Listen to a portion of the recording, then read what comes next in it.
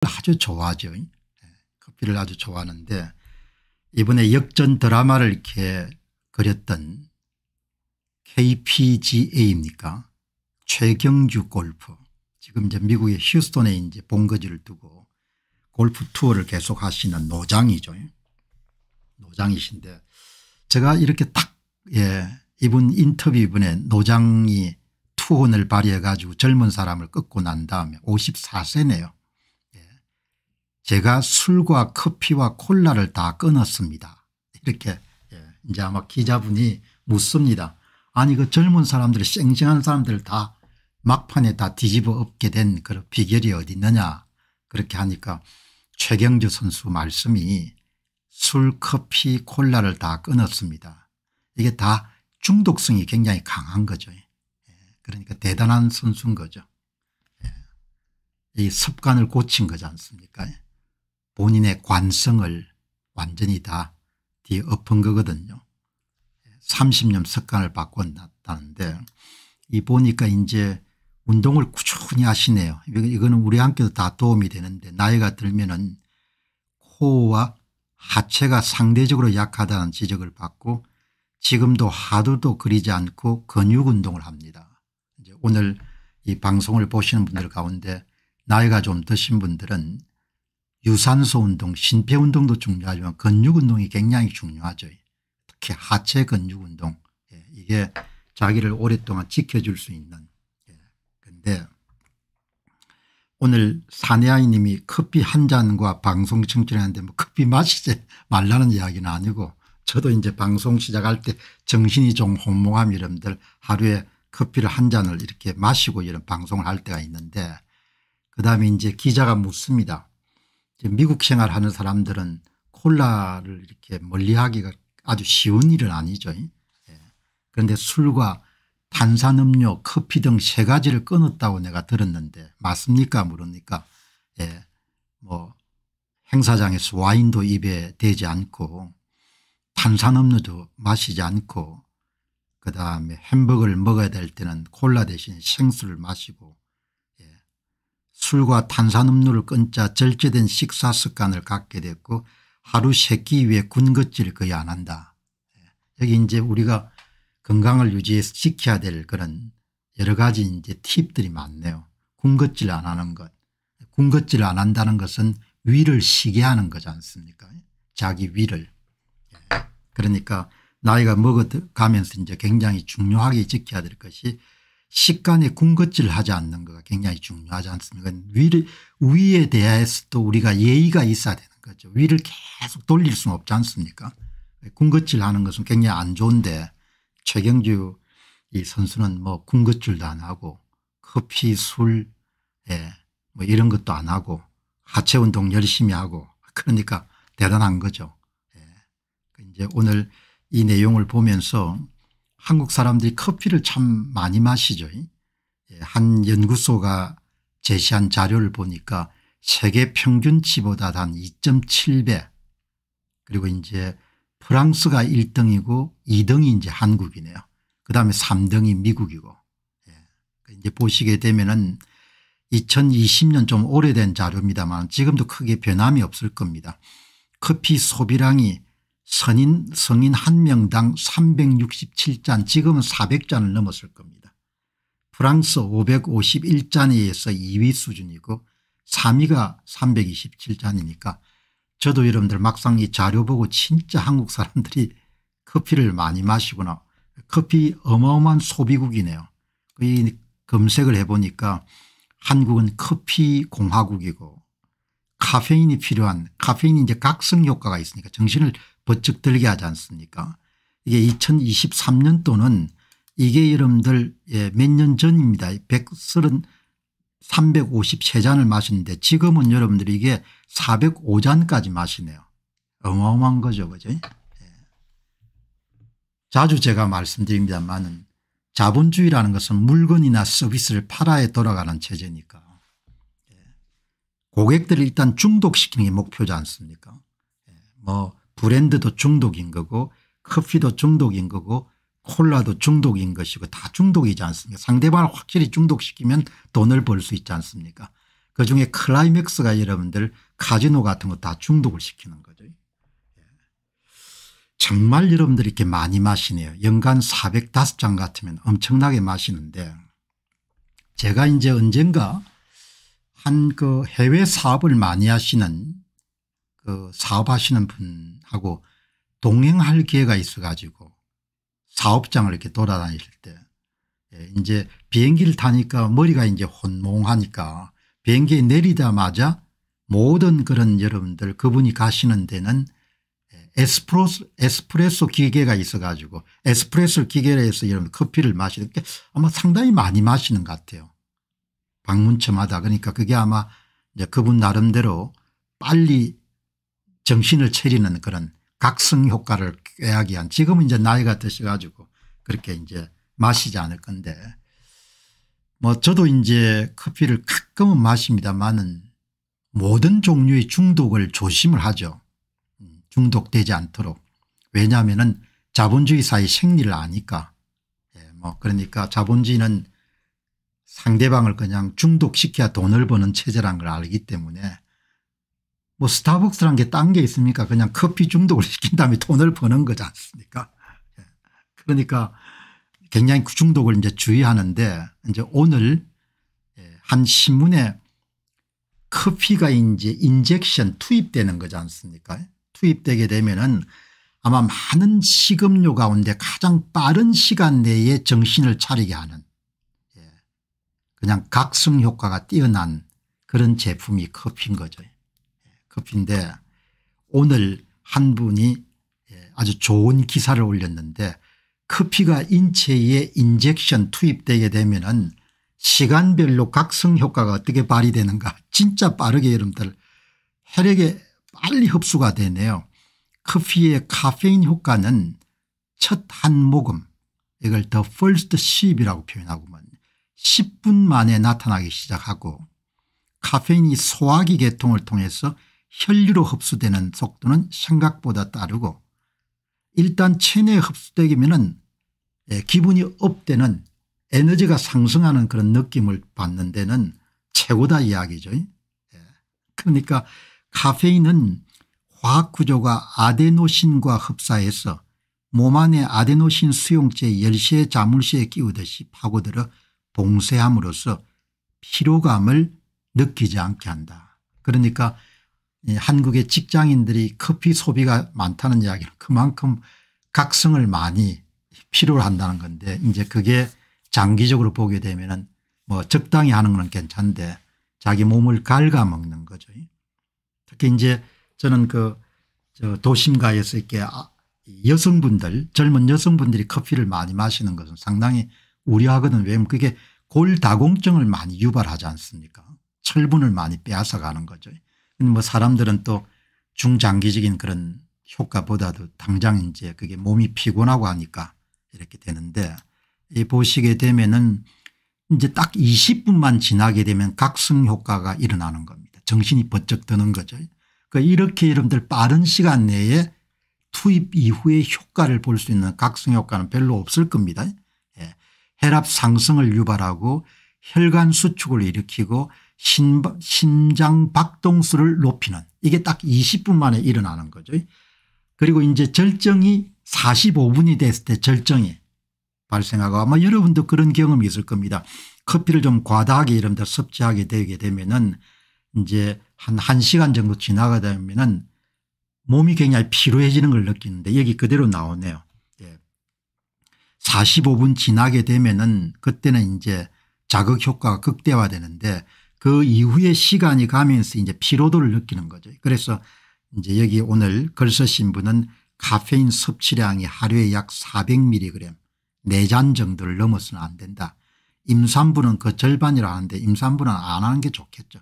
뭐 아예 않게 여러분들 뭐 그게 부정적인 영향을 미칠 수 있는 가능성이 있으면 잃지 않아야 되지 않습니까 60분 가량 경과하면 은 반갑지 않은 부작용이 나타나는데 소변 생성 배뇨 욕구 인호작용 뭐 항상 세상은 플러스가 있으면 마이너스가 있으니까 예, 이렇게 이제 커피가 주는 45분의 예, 피크 그다음 60분부터 여러분들 뭡니까 약간의 부작용이 발생하는 예, 그런 거를 잘 이렇게 정리해 놨네요.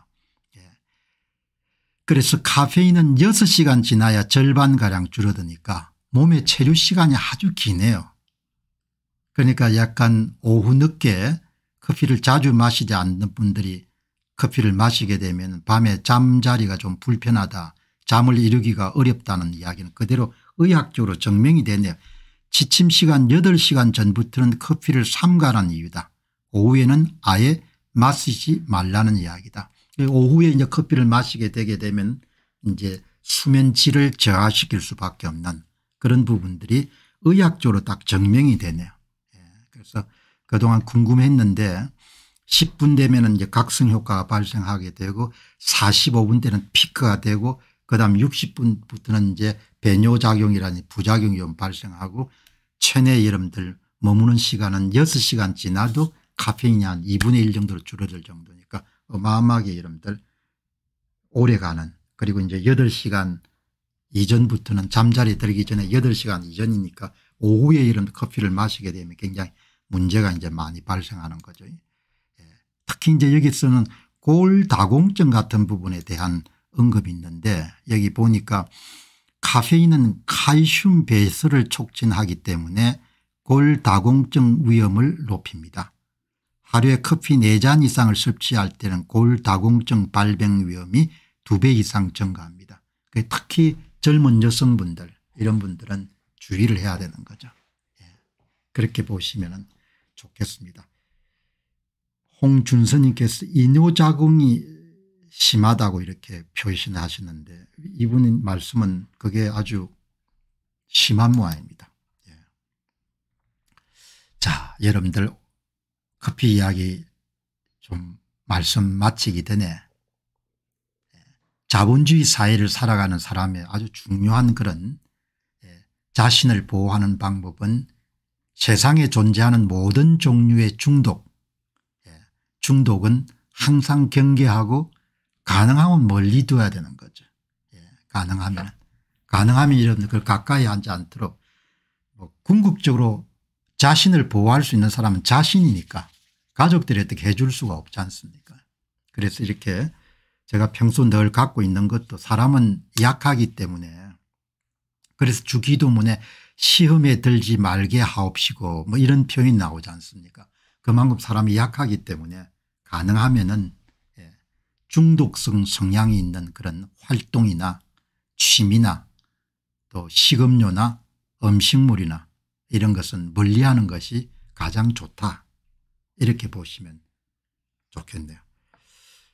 자 여러분 이제 오늘 또 한 가지 주제 다루고 그다음 정치 이슈 들어가도록 하겠습니다. 운이란 게 참 중요하죠. 예, 운이란 게 참 중요한데 가끔 여러분들 이제 한국 사회에서 이제 아주 창의적인 사람 그런 사람을 만나면은 가끔 제가 그런 생각을 하거든요. 저 양반이 예, 좀 이렇게 창의적 활동을 잘 받아들이는 그런 사회 속에서 났으면 얼마나 재능을 한껏 발휘했을까? 그런 생각이 들기도 하고. 그다음에 이제 뭐 전쟁을 겪는 그런 나라들 그런 나라들을 보게 되면은 야, 저기에도 참 뛰어난 그런 인재들이 많을 건데 그 시대에 그 나라에서 태어났기 때문에 어찌할 수 없이 전쟁에 이름들 참전할 수밖에 없고 때로는 목숨까지 잃는 그런 일들이 많이 발생하지 않습니까 그러니까 운이라는 게 어마어마하게 중요한 것 같아요. 어느 나라에 태어났느냐 어떤 부모를 여러분들 두었느냐 또 살아가면서 누구를 만났느냐 또 어느 시대에 났느냐가 굉장히 중요하지 않습니까 어느 시대에 그 마이크로소프트사의 빌 게이츠 같은 사람도 그 시대에 났기 때문에 꽃을 피운 거지 않습니까 예. 그런데 그게 또 전부가 아닌 것이 로스앤젤레스 이런 다운타운 거리를 이렇게 걷다 보면 가끔 그런 생각이 들지 않습니까? 야, 저 사람들은 저렇게 좋은 나라에 났는데 어떻게 저렇게 노숙자가 돼가 저렇게 생을 어렵게 만들까? 그런 생각이 들지 않습니까? 그러니까 행운과 노력이라는 것이 의지라는 것이 다 서로 작용을 하는데 오늘 그 말씀을 드리는 이유는 예, 오늘 한 신문에 이 김현철 교수 이제 의사 출신으로서 경제학을 하신 분이니까 굉장히 독특한 백그라운드를 가진 거죠.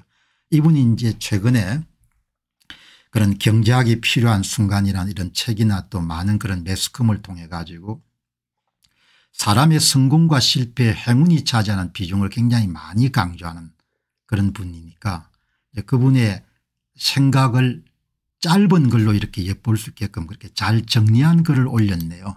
예. 우리 성취의 대부분이 그냥 운과 연결돼 있고 예.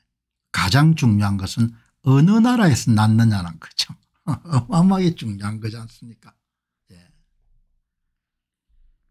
그러니까 과거에 예를 들면 뭐 이탈리아의 여러분들 그런 빈촌이나 시칠리 이런 데서 많은 이민이 여러분들 신대륙을 항했는데 그때 북미로 간 사람들하고 남미로 간 사람 남미로 간 사람들은 대부분 아르헨티나나 브라질 같은 데 아마 이제 주거지를 정했겠죠. 북미를 간 사람들 운명하고 남미를 간 사람들 운명이 많이 달라졌지 않습니까 예. 어느 나라에서 태어났느냐 이게 어마어마하게 중요한 거죠. 예. 그 여기 보시게 되면 은 세계은행 출신의 경제학자 플랑크 밀라노비치는 태어난 나라가 평생소득의 절반 이상을 결정하는 걸 보였다. 50% 정도를. 예. 그러니까 자기가 나서 태어난 나라를 잘 가꾸고 하는 것이 정말 중요한 일인 거죠. 예.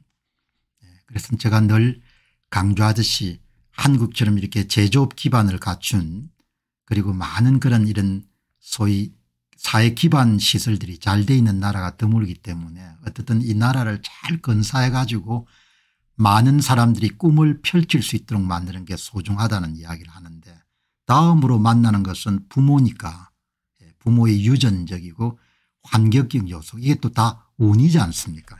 운이니까 이분이 이야기를 들어보게 되면 그러면 사람은 뭘 하지라는 생각이 들 정도로 나라를 결정하는 것도 운이고 부모를 만나는 것도 운이고 부모의 또 유전적 특성이라는 것은 뭐 행운 가운데서도 어마어마하게 여러분들 행운이지 않습니까 그래서 미국의 최고의 여러분 투자자라는 월렌 버핏도 여러분들 예, 좋은 자궁을 만나는 행운이라는 그런 표현을 쓰지 않습니까 부잣집에 태어나는 거를 예.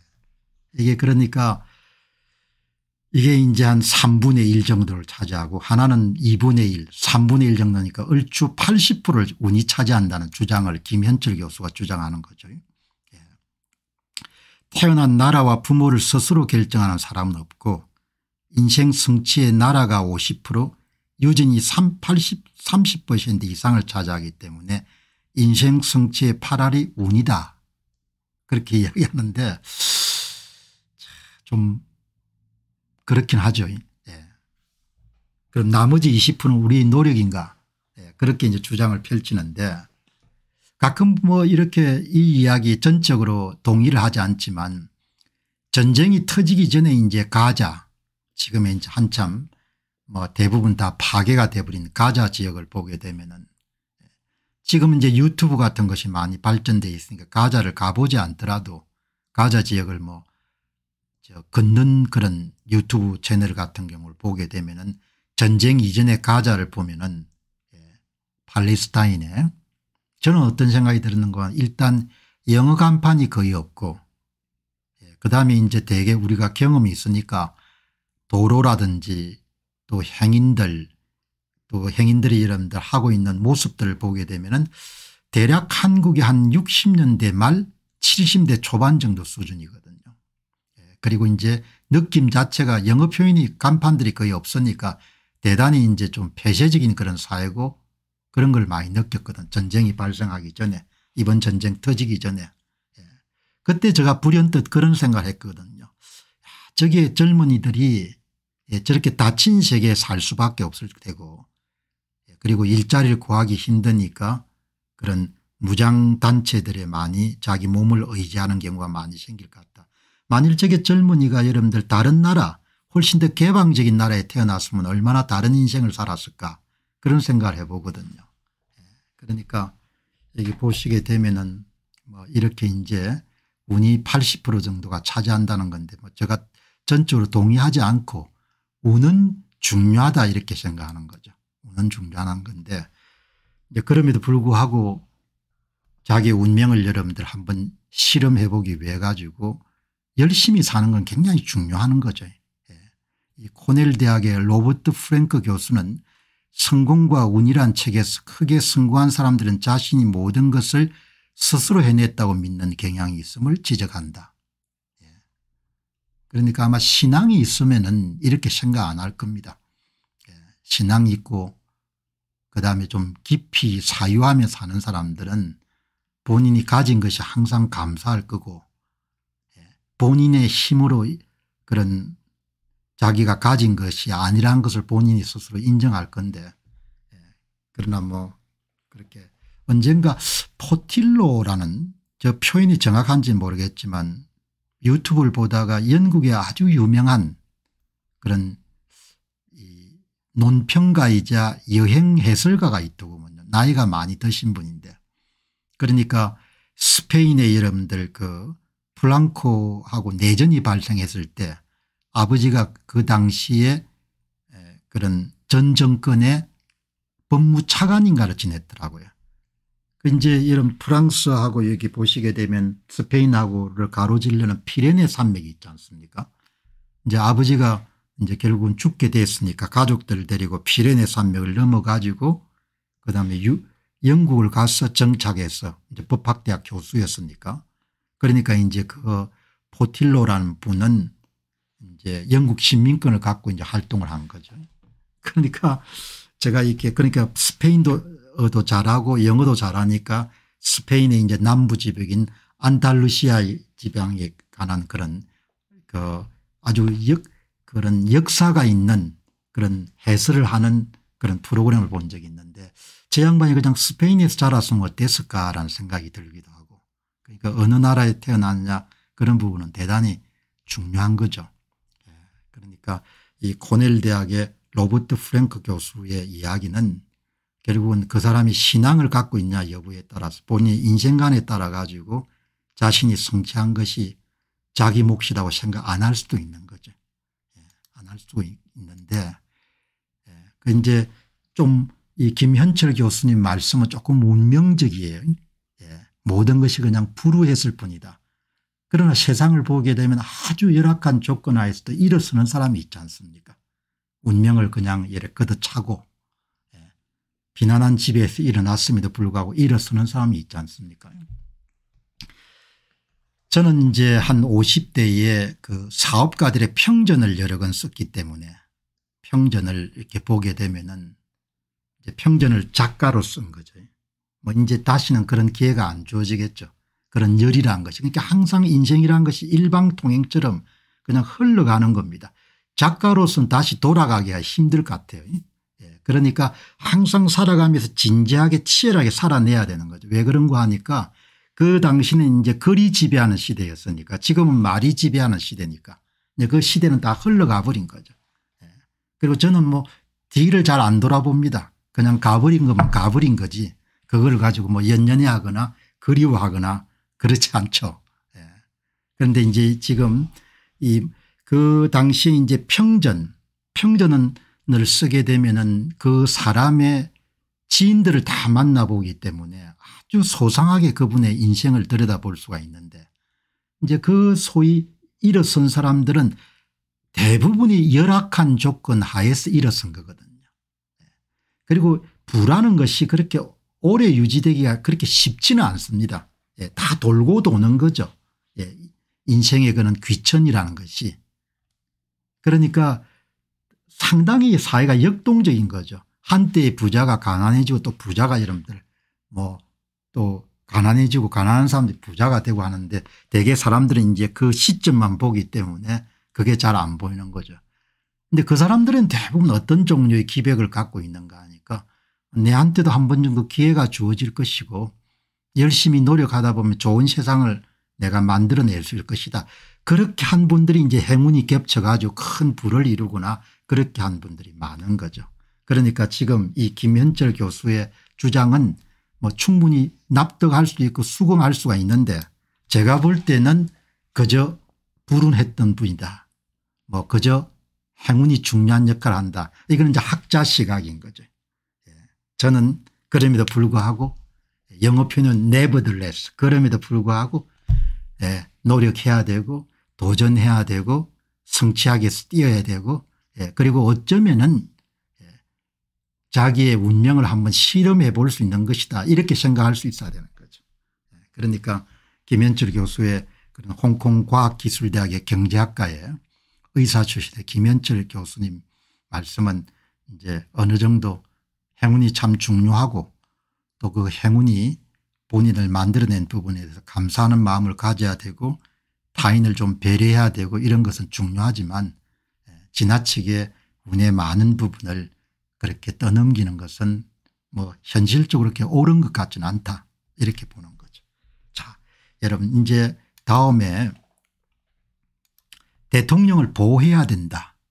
예, 이제 홍준표 뭐 사적인 이익이 있을 것이다. 뭐 이렇게 생각하시는 분도 안 계시겠습니까? 뭐 사적인 이익의 사람이 다 자기 중심적으로 움직이는 존재이기 때문에 홍준표 시장께서 최근 들어서 이제 대통령을 보호해야 된다는 것이 사적인 이익이 전혀 없다고는 생각하지 않습니다.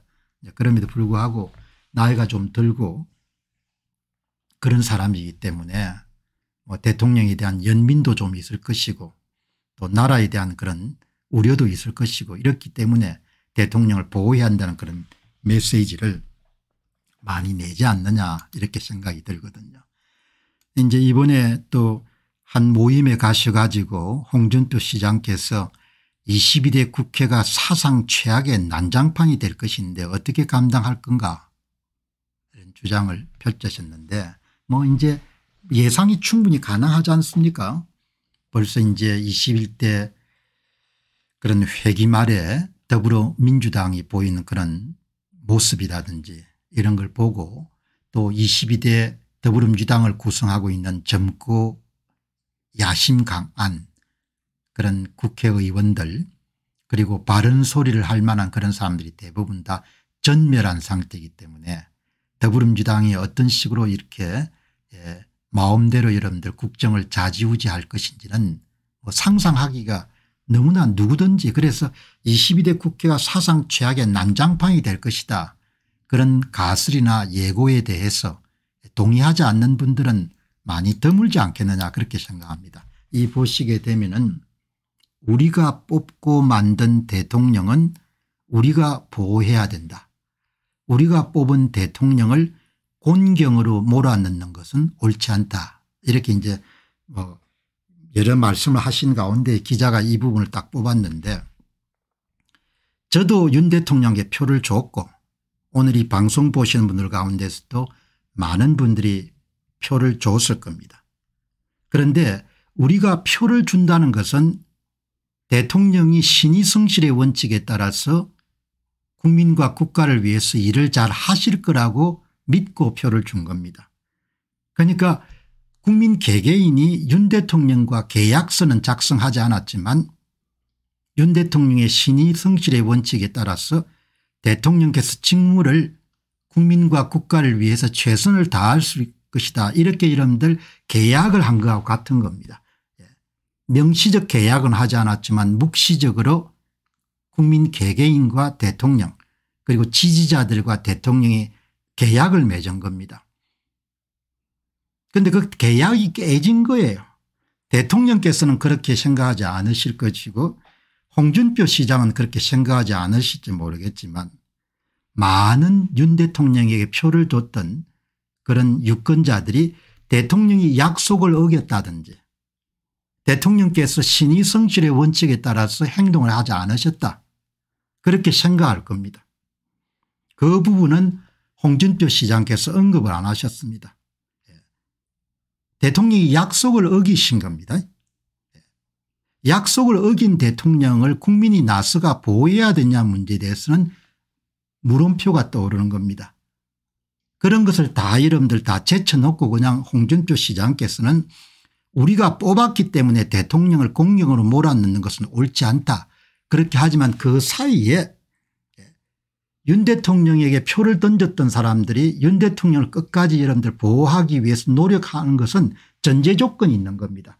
윤 대통령께서 예, 신의 성실의 원칙에 따라서 국가와 국민의 이익을 위해서 헌신을 할 때 여러분들 우리가 약속을 지킬 수 있는 거지. 국민의 도리를 지키는 것이고 지지자들의 도리를 지키는 것이지 대통령이 입을 싹 다물고 예, 본인의 이익을 위해서 행동할 때는 약속을 지켜야 될 이유는 없는 겁니다. 그건 계약이 파기가 된 겁니다. 계약이.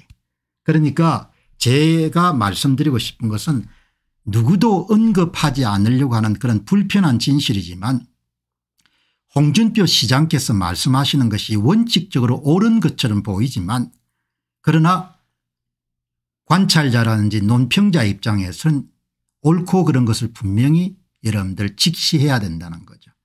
국민들에게 윤 대통령을 보호하기 위해서 나서라고 요구할 자격은 없다는 겁니다. 엄밀하게 이야기하게 되면. 예. 그러나 제 전제 조건은 대통령이 헌법을 통해서 여러분들 임기가 보장됐으니까 무난하게 이런 임기를 마치고 나가시기를 바랍니다. 그러나 국민들에게 자기를 보호하기 위해서 나서달라고 요구를 하실 수 없는 겁니다. 왜 대통령은 전혀 자기의 책무를 다하지 않으신 분이기 때문에 대통령은 책임을 다하지 않으신 분인 겁니다.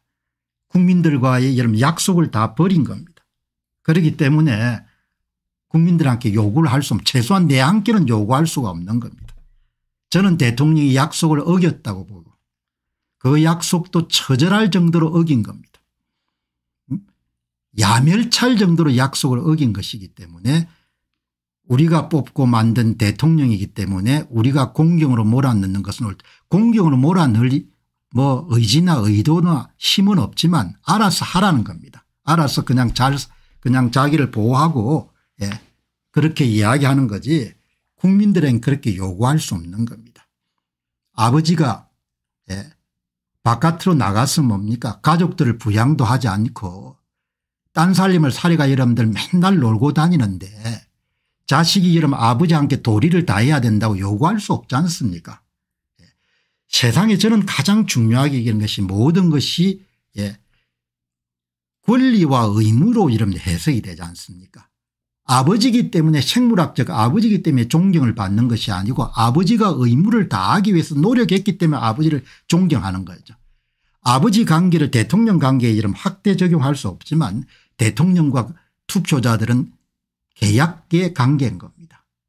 뭐 무슨 뭐 가족적인 관계도 아니고 혈연 관계도 아니고 계약을 깨뜨린 거지 않습니까 그래서 홍준표 시장이 뭐 좋은 의도에서 말씀하셨겠지만 예, 제가 그냥 기사를 읽는 순간 말도 안 되는 이야기 하지 말라는 이야기인 겁니다.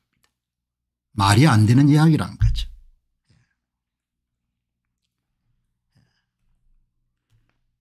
대통령이 고집이 엄청 세지만 그 고집 때문에 대통령이 된 것이다. 우리가 잘 도와 성공한 대통령을 만들어야 정권 재창출도 되고 이 나라의 주도 세력으로 계속 남을 것이다. 우리가 잘 도와준다고 해가지고 대통령이 잘할 수 있는 것도 아닌 겁니다. 그러니까 제 이야기는 홍준표 시장께서는 덕담으로 이야기했지만 내 눈에는 모든 주장들이 다 눈에 거슬리는 겁니다. 대통령은 최종 연출자고 국민이 도와주든 도와주지 않든 간에 본인이 최종적으로 뭡니까 연출을 하는 겁니다. 본인이 그 국민들이 뭐 아우성을 치든 국민이 떠받들든 전혀 관계없이 그냥 본인의 역량껏 본인의 신념껏 본인의 세계관 끝 여러분들 행동하기 때문에 뭐 국민들이 도와주건 도와주지 않건 전혀 관계없는 겁니다. 예. 우리가 잘 도와서 성공한 대통령으로 만들어야 정권 재창출이 되고 정권 재창출은 죽었다 깨어나도 될 수 없는 겁니다. 홍 시장께서 마지막까지 선거 공정성 문제에 대한 거를 입을 다물지만 제가 뭐 계속해서 정치해야 되는 분한테 왜 여러분들 그 문제를 입을 다무냐 이제 그런 이야기 이제 저는 안 합니다. 왜 포기했기 때문에 예.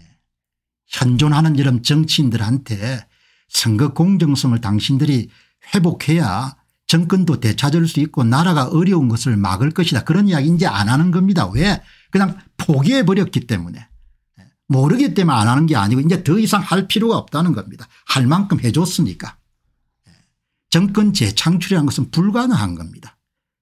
그러니까 쉽게 이야기하게 되면 3년 임기 마치고 나가든 3년 전에 나가든 간에 관계없이 정권은 더블당에 가는 겁니다. 뭘 그걸 가지고 뭡니까 그냥 뒤로 숨기고 뭐죠 물론 홍준표 시장께서는 그렇게 말씀 안 하겠죠. 본인이 또 대권을 위해서 나올을 테니까.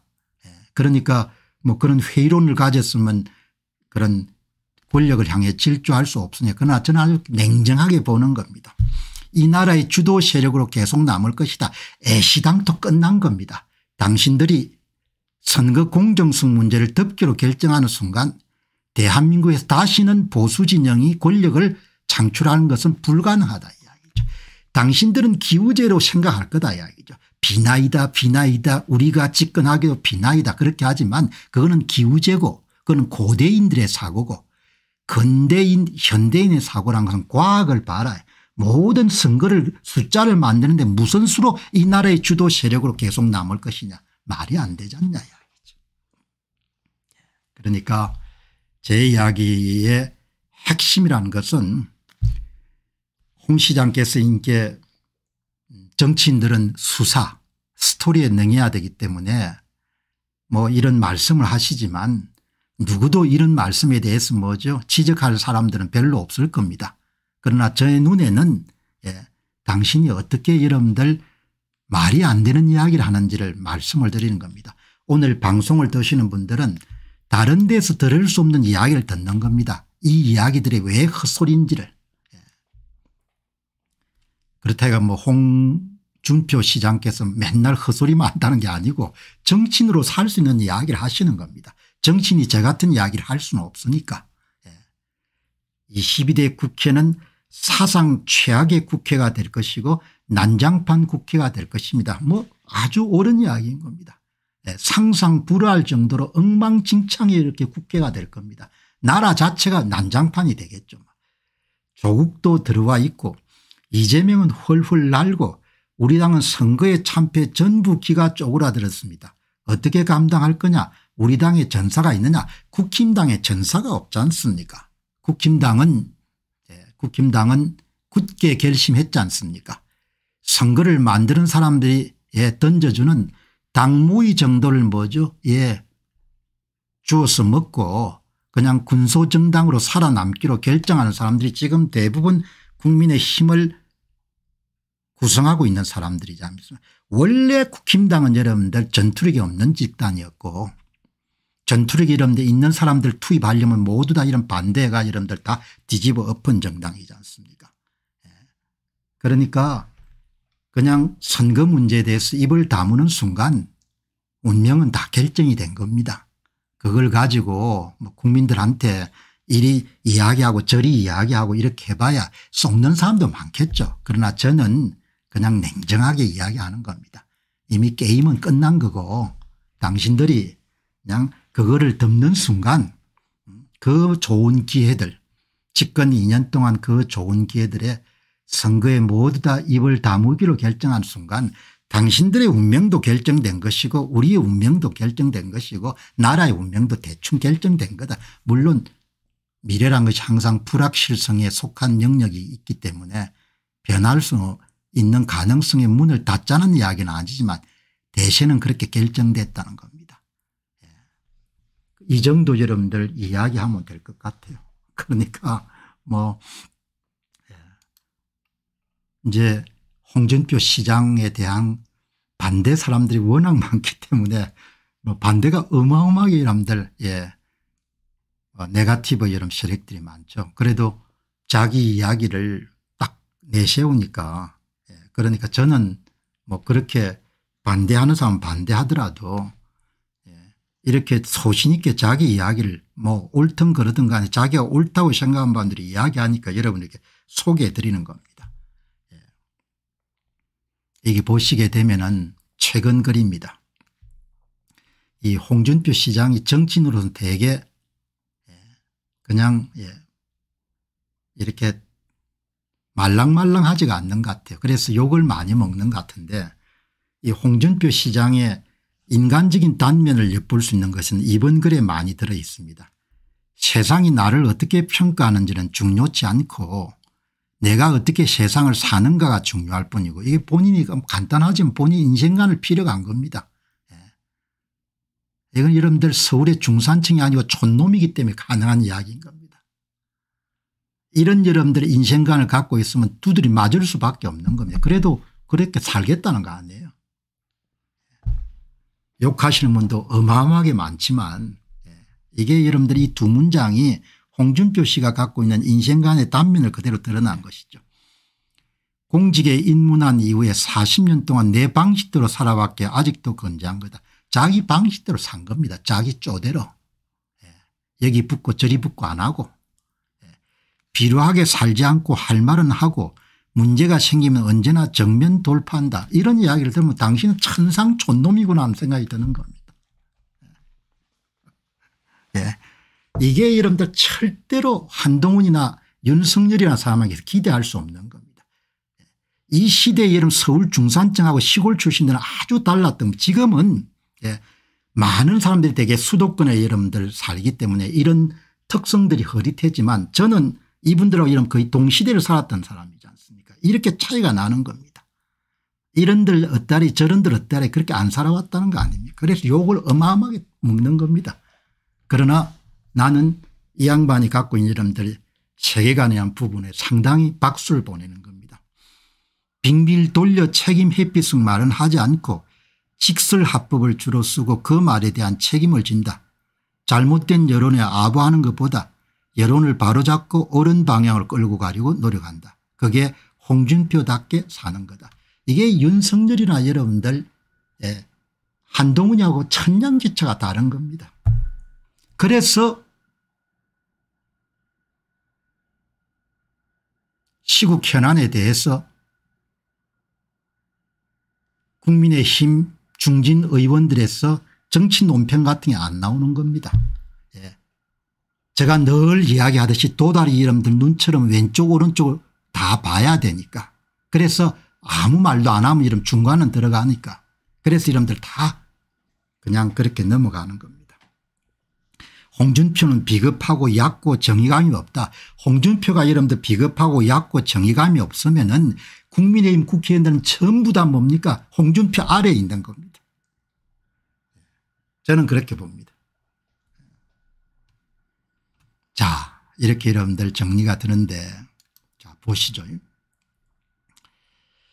시민들은 여러분들 참 애를 끌지 않습니까 뭐 하, 이야기를 할 때도 없는 거고 예. 제가 늘 시청자분들이 남기신 글을 다 읽지 않지만 중요 현안에 대한 부분들은 꼭 챙겨서 시민들이 어떻게 생각하시는가라는 부분을 보거든요. 여기 보시게 되면은 어제 아 조금 전에 이 대통령을 보호해야 된다. 예, 이런 이야기에 대해서 제 생각은 이렇거든요. 국민이 보호할 가치가 있는가? 자기가 알아 살아남으면 살아남는 거지. 윤석열 대통령에게 이런 표를 던졌던 사람들이 윤 대통령을 보호할 만한 가치가 있는가? 그런 질문을 던질 수 있는 거지 않습니까? 그리고 국민이 윤 대통령을 보호할 또 힘이 있는가 현실적으로 두 가지 질문을 던질 수가 있는 거죠. 예. 그래서 제가 궁금해 가지고 설문조사를 한번 해봤습니다. 이 보시게 되면은 네. 우리가 뽑고 만든 대통령 우리가 보호해야 됩니다. 홍준표 시장 세미나 주장 여러분께서는 어떻게 생각하십니까 네. 첫째 보호해야 될 이유가 있다. 국민이 도와야 된다. 이 75%입니다. 보호해야 될 이유가 없다. 본인이 알아서 살아남아야 된다. 22% 이렇게 나온 겁니다. 너무나 좀 냉정하지만 그래도 참 대한민국 사람들이 예, 좀 그래도 아직은 사람들이 좀 정도 있고 그런 것 같아요. 예.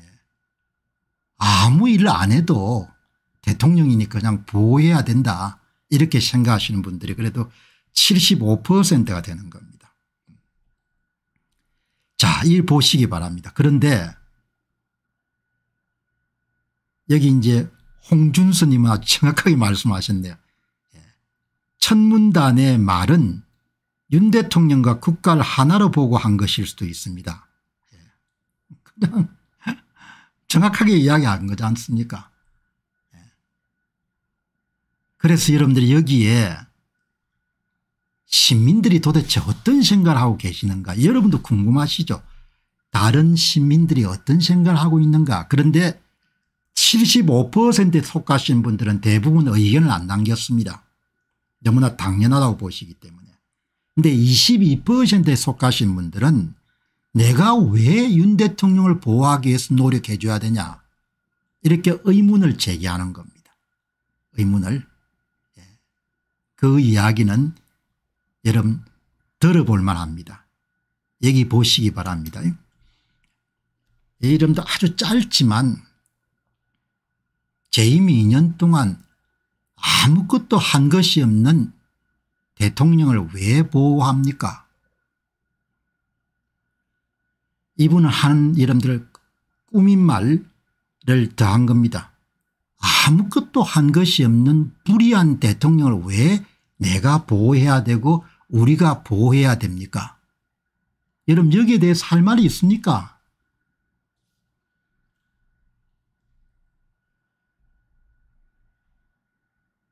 아무것도 한 거 없는 불의한 대통령을 왜 보호해야 됩니까? 촌철살인이란 표현이 있듯이 어마어마하게 이런 폐부를 예, 파고드는 이야기인 거죠.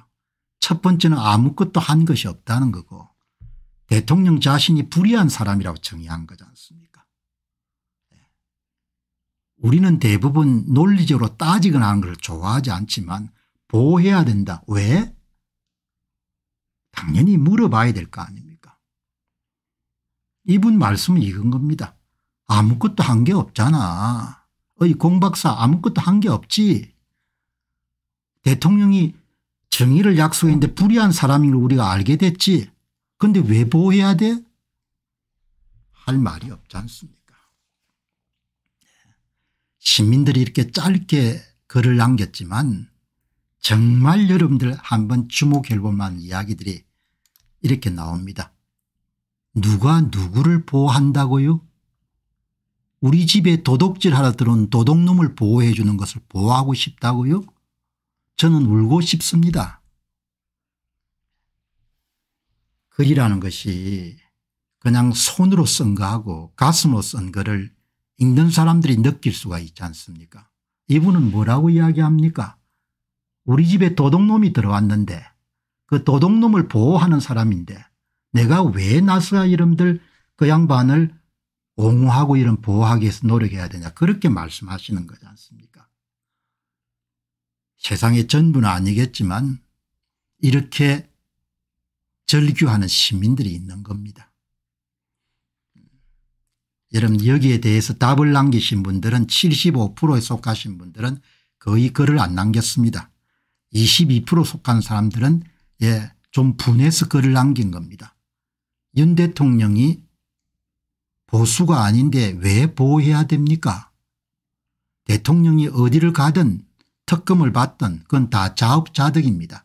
무려 23명이름 찬성을 하고 한 명도 반대가 없는 겁니다.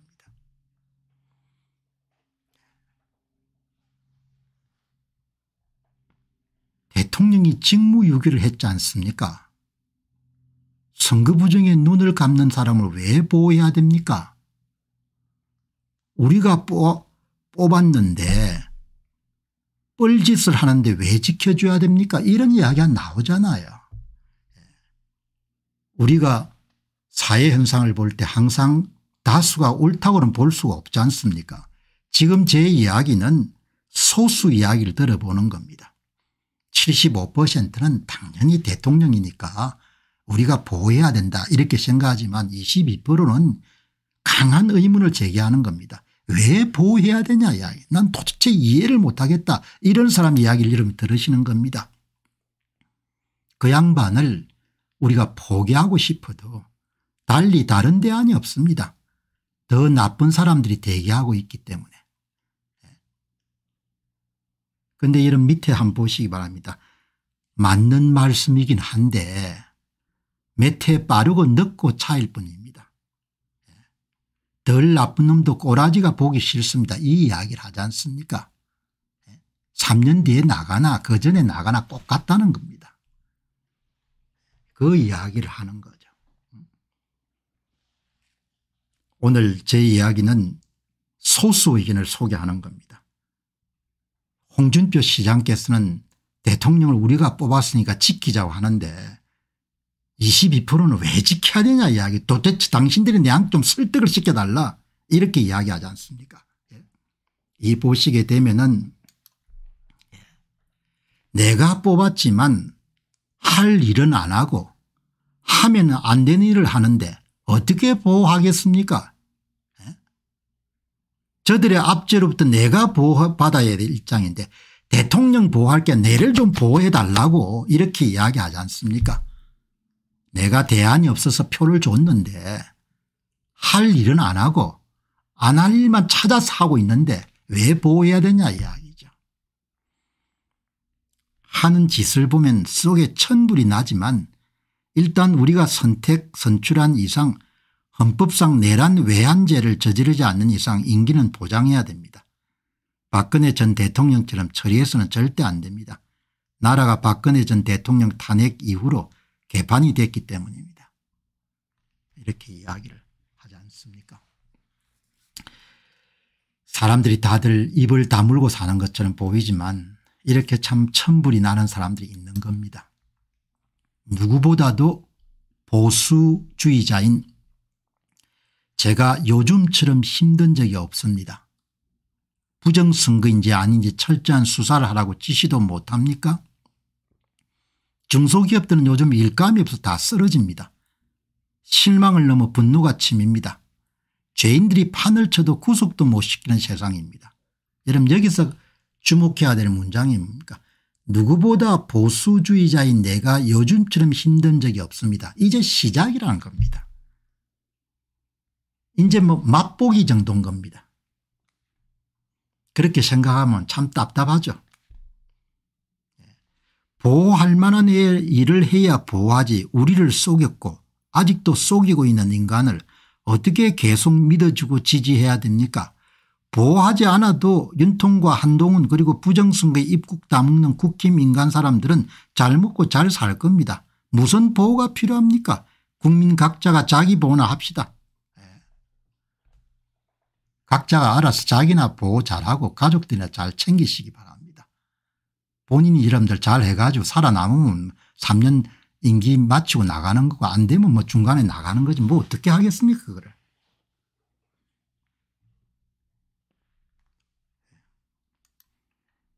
보시게 되면은 보호받을 가치가 없는 헌법상의 책무를 다하지 못하는 게 아니라 아예 할 생각을 하지 않는 자격 없는 사람을 우리가 책임지고 도와야 된다고요 참 어이가 없어도 한참이 없습니다.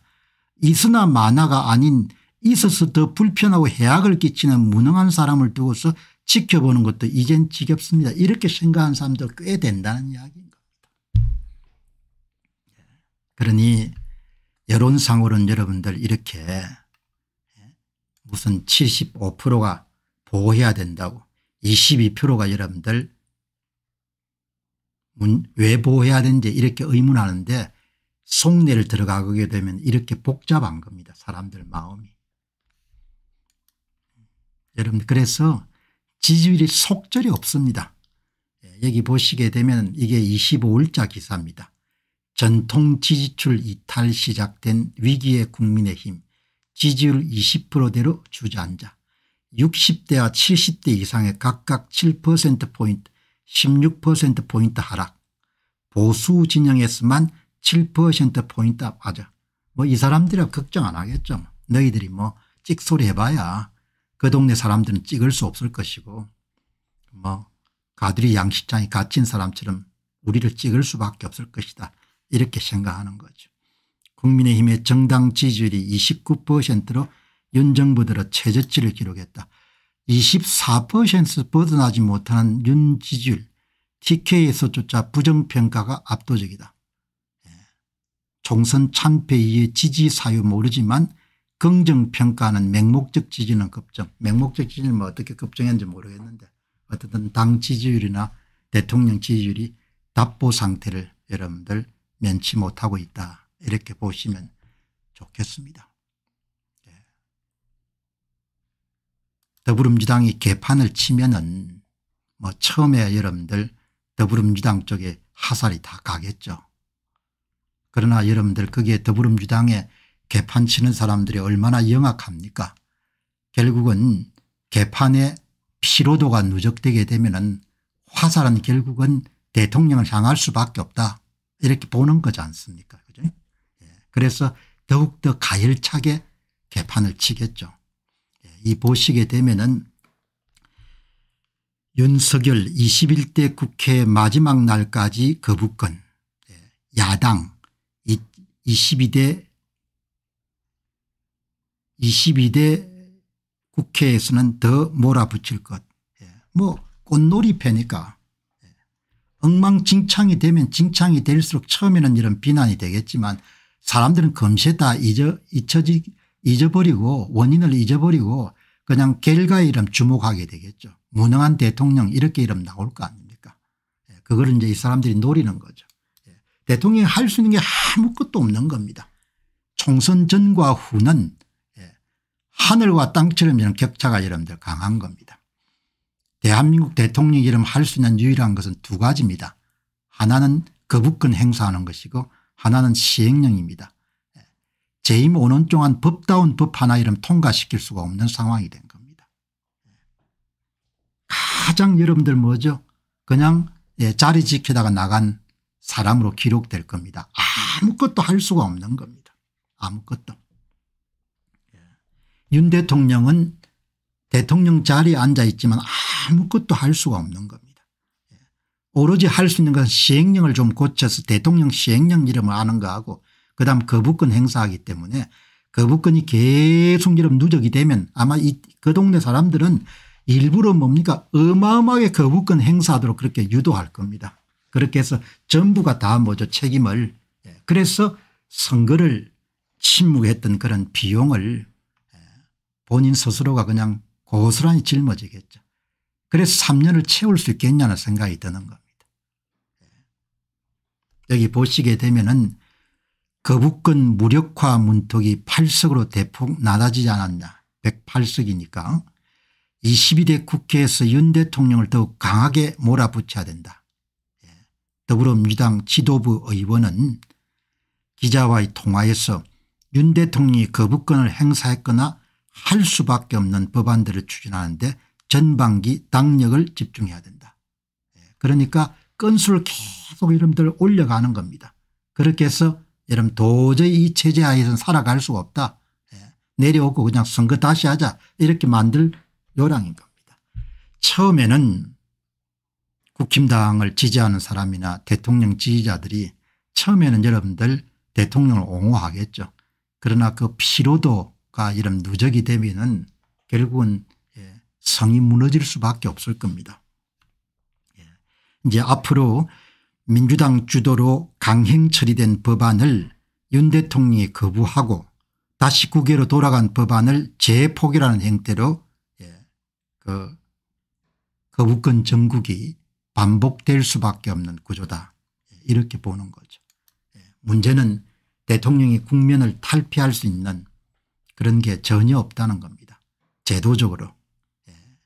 그러니까 민주당은 의원총회를 열어가지고 최상병 특검법을 1호 당론법으로 이렇게 밀어붙이고 다음에 김건희 특검법 대장동 50억 특검 클럽 특검법 예. 그게 뭐 법기술자들이 많으니까 그냥 법을 양산해가 보면 계속 개부권을 행사하도록 그렇게 만드는 겁니다. 여기다가 양곡관리법 개정안 노란봉투법 방송 3법 등 기존 대통령이 거부권 행사를 한 모든 법안을 또 총 모아 가지고 다시 여러분들 대통령의 거부권 행사를 유도하겠죠. 그리고 여러분 그다음에 언론들 여러분 동원해 가지고 분위기를 고양하겠습니까 3년은 생각보다 긴 시간입니다. 아무것도 하지 않고 그냥 자리를 지키기에는. 그래 참 어려운 겁니다 대통령이 지금. 22대 국회에서도 윤 대통령이 대부분의 법안에 거부권을 행사할 것으로 예상되지만 그렇다고 손을 놓을 수 있을 수는 없지 않느냐. 범야권이 192석으로 확대된 상황에서 윤 대통령도 22대 국회에서 무조건 거부권 전략으로 일관하기는 부담스러울 것이다. 모든 여러분들 문제의 출발지는 윤 대통령이 선거 문제에 지나칠 정도로 여러분들 함구하고 결국은 본인 재임하에 내분의 모든 공직선거에서 의도하지 않는 그런 본인이 전혀 여러분들 막을 의향이 없었던 선거 문제가 발생했던 것이 가장 큰 요인인 겁니다. 그래서 그냥 4월 10일 총선에서 윤 정부는 그냥 생명줄이 끊어진 겁니다. 그냥 존재하지만 그냥 허수아비가 돼버린 겁니다. 누누이 제가 강조했지 않습니까 그냥 이제는 있지만 없는 그냥 모두가 그림자처럼 취급할 수밖에 없는 그런 상황이 된 겁니다. 세상을 살면서 이런 기회라는 것은 항상 한시적이고 한정적이지 않습니까 본인에게 주어진 기회를 못 살리게 되면 예, 그냥 그냥 그렇게 흘러가는 겁니다. 예, 윤 대통령은 타협한 겁니다. 악과 손을 잡았고 악의 손을 잡은 그 대가를 본인이 이름 재임하고 있는 동안 치르겠죠. 그래서 저는 3년이 아주 길다고 봅니다. 대한민국의 3년은 영원과 같은 시간인 겁니다. 예, 본인이 그 문제에 입을 다문 겁니다. 씻을 수 없는 패착을 뒀는데 본인은 여러분들 뭐죠 예, 잘한 결정이라고 그렇게 생각하겠죠. 예, 그렇게 생각하고 타협을 한 것 같습니까 예, 악과 그냥 타협하는 순간 악의 도구가 된 겁니다. 전혀 제가 볼 때는 예, 아주 전형적인 뭐죠 사람을 보는 겁니다.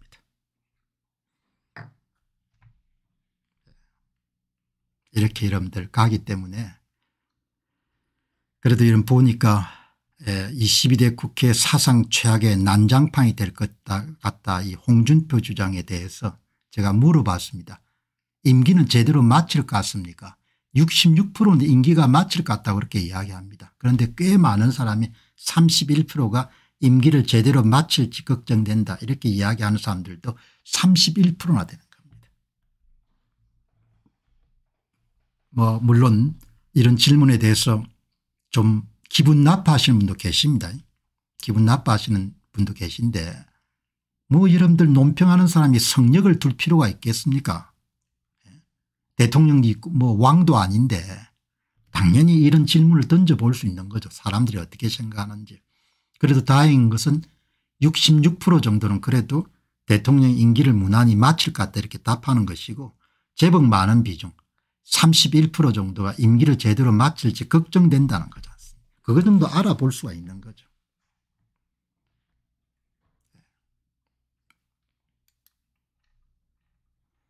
여기 오늘 인태생님께서 너무나 여러분들 뼈아픈 말씀을 하시네요. 국민 주권도 못 지키는 대통령이 존재할 필요가 있습니까 예. 그냥 한마디로 그냥 일괄하지 않습니까 복잡한 설명 따위 딸에 채우고 예. 대통령이 국민 주권을 못 지키는데 왜 대통령이 있어야 되냐 이 말씀하시는 거지 않습니까 그렇다 해가지고 제가 임기를 단축시키라는 이야기는 아닙니다. 분명히 말씀드리지만 헌법에 보장된 대로 대통령이 3년 임기를 마치고 나가시기를 바란다. 그러나 대통령을 보호하기 위해서 나설 의향은 전혀 없다는 겁니다. 왜 대통령이 약속을 어기셨기 때문에 그러니까 알아서 열심히 노력해서 여러분들 임기 맞추도록 노력하라는 이야기인 겁니다.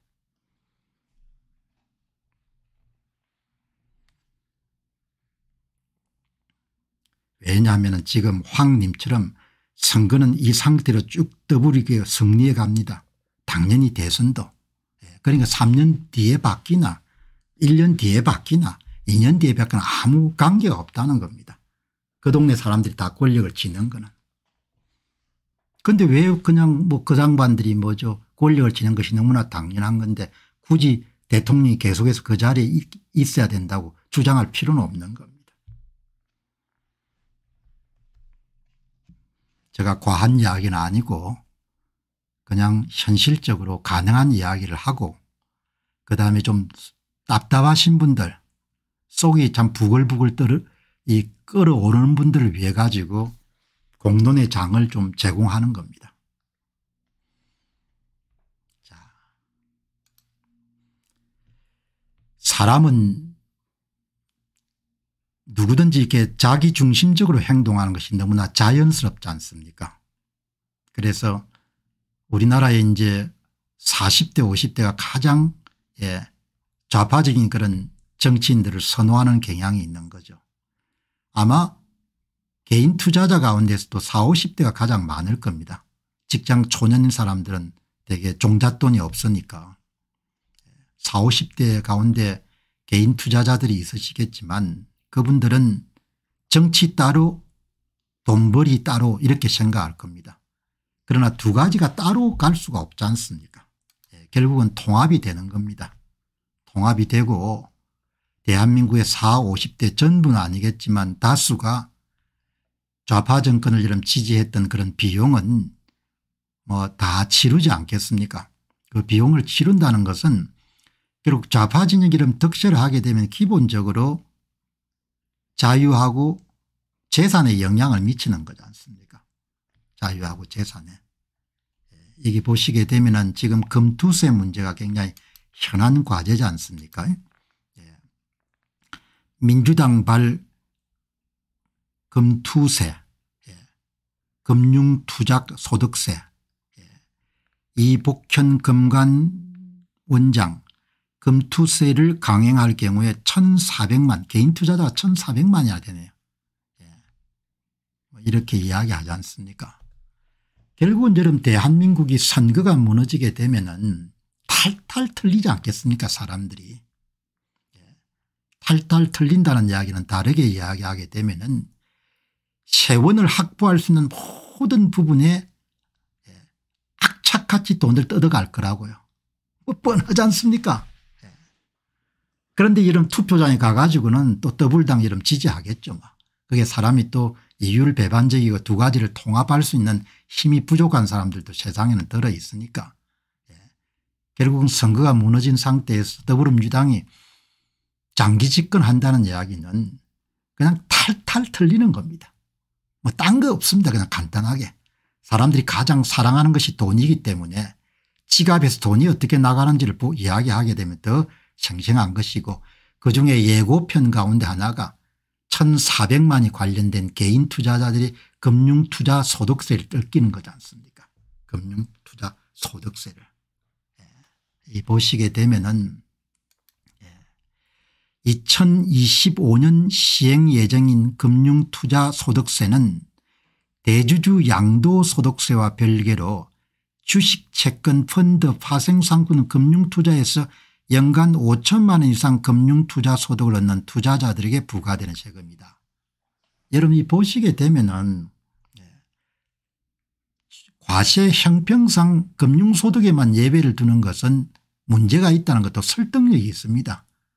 그러나 제가 이걸 보면서 무슨 생각하면 두 가지 생각인데 하나는 점점 보통 평범한 시민들이 재산을 축적하기가 굉장히 어려운 시대로 어려운 사회가 돼가는 것 같고 그다음 또 다른 한 가지는 예, 이거를 보면서 그 금투세를 보면서 예, 앞으로 가는 대한민국의 전체적인 그런 모습이라는 것이 그냥 탈탈 사람들을 털어내는 겁니다. 그냥 세금 뭡니까 거두드릴 수 있는 곳이면 알뜰살뜰하게 뭡니까 알뜰살뜰하게 하면서 세금을 털어가기 때문에 재산 정식이 굉장히 어려운 어려운 그런 상황으로 몰고 가는 겁니다. 그래도 이러면 선거판에서는 뭐죠 더블당하게 표 줄 겁니다. 나는 진본이 이렇게 가지고 예. 그러니까 뭐 어떻게 보면은 좀 어리석은 같기도 하지만 또 어떻게 보면은 뭐 사람들이 본래 그렇게 생겨 먹었으니까 그렇게 이해를 할 수밖에 없는 거죠.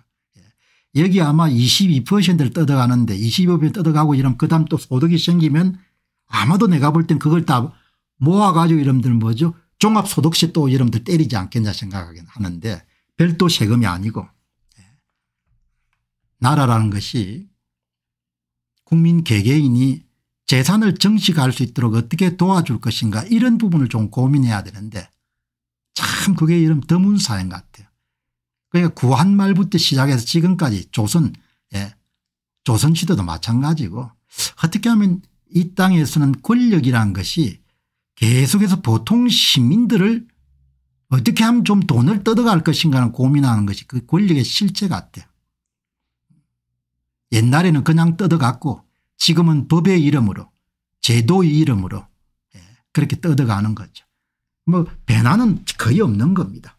예, 그냥 전반적인 정도란 것은 돈을 어떻게 뜯어갈 것인가 옛날에는 법도 없으니까 막 뜯어간 거고 지금은 이제 법의 이름으로 뜯어가는 거죠.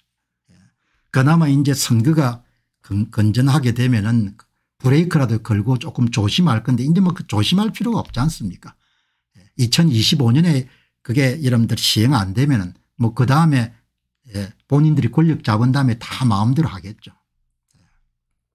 재산 정식이 여러분 이렇게 힘들게 돼 가지고 예. 이제 이게 이 그러니까 이제 금투세 반대를 하기 위해서 개인 투자자들이 모임을 만들어 가지고 개인 투자자 단체 한투연 이런 모임을 만들어 가지고 그렇게 이제 규탄 집회를 하는 건데 이 보시기 바랍니다. 이 금투세가 국내 상장 주식은 5천만 원 이상 해외 주식은 지금 소득이 250만 원 넘으면은 이제 세금을 뜨는데 이 22% 떼가는 겁니다. 어마어마하게 많죠.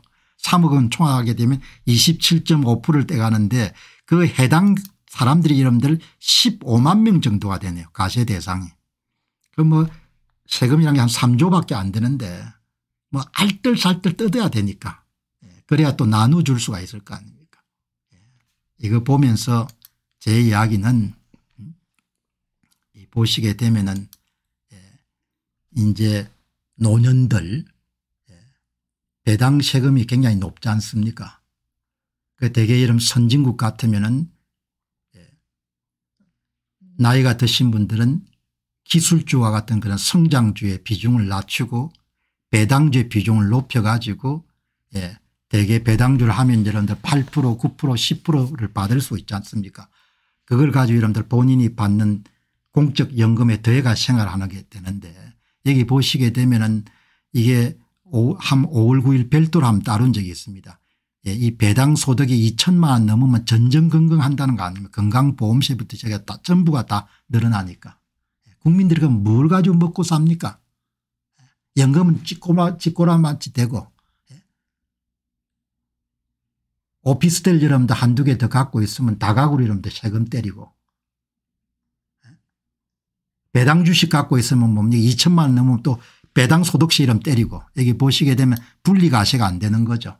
음. 그래서 제가 AI한테 물어봤습니다. 한국의 노인들 받는 배당세 세금 폭탄에 대해서 어떻게 생각하느냐 배당 소득이 연간 2천만 원을 초과되면 금융종합소득과세 대상이 되어 최고 42%의 세율이 적용됩니다. 이전에는 배당 소득에 대해서 낮은 세율의 분리과세가 적용되어 세금 부담이 적었습니다. AI가 여러분 이렇게 조언합니다. 따라서 한국 정부는 노인들의 배당 소득에 대한 세금 부담 완화 방안을 신속히 마련할 필요가 있습니다. 노인들이 살아야 될 거 아닙니까 오피스텔도 이런들 예? 1가구 2주택에 다 넣어가 이러면 세금 때리겠다. 배당도 이런데 다 세금 때리겠다. 그럼 뭐가 사람 이야기예요.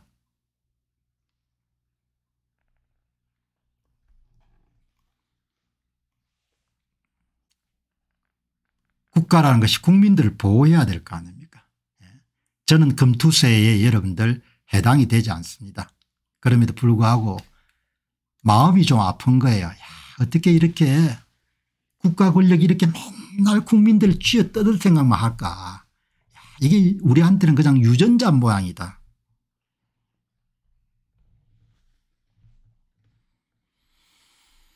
네.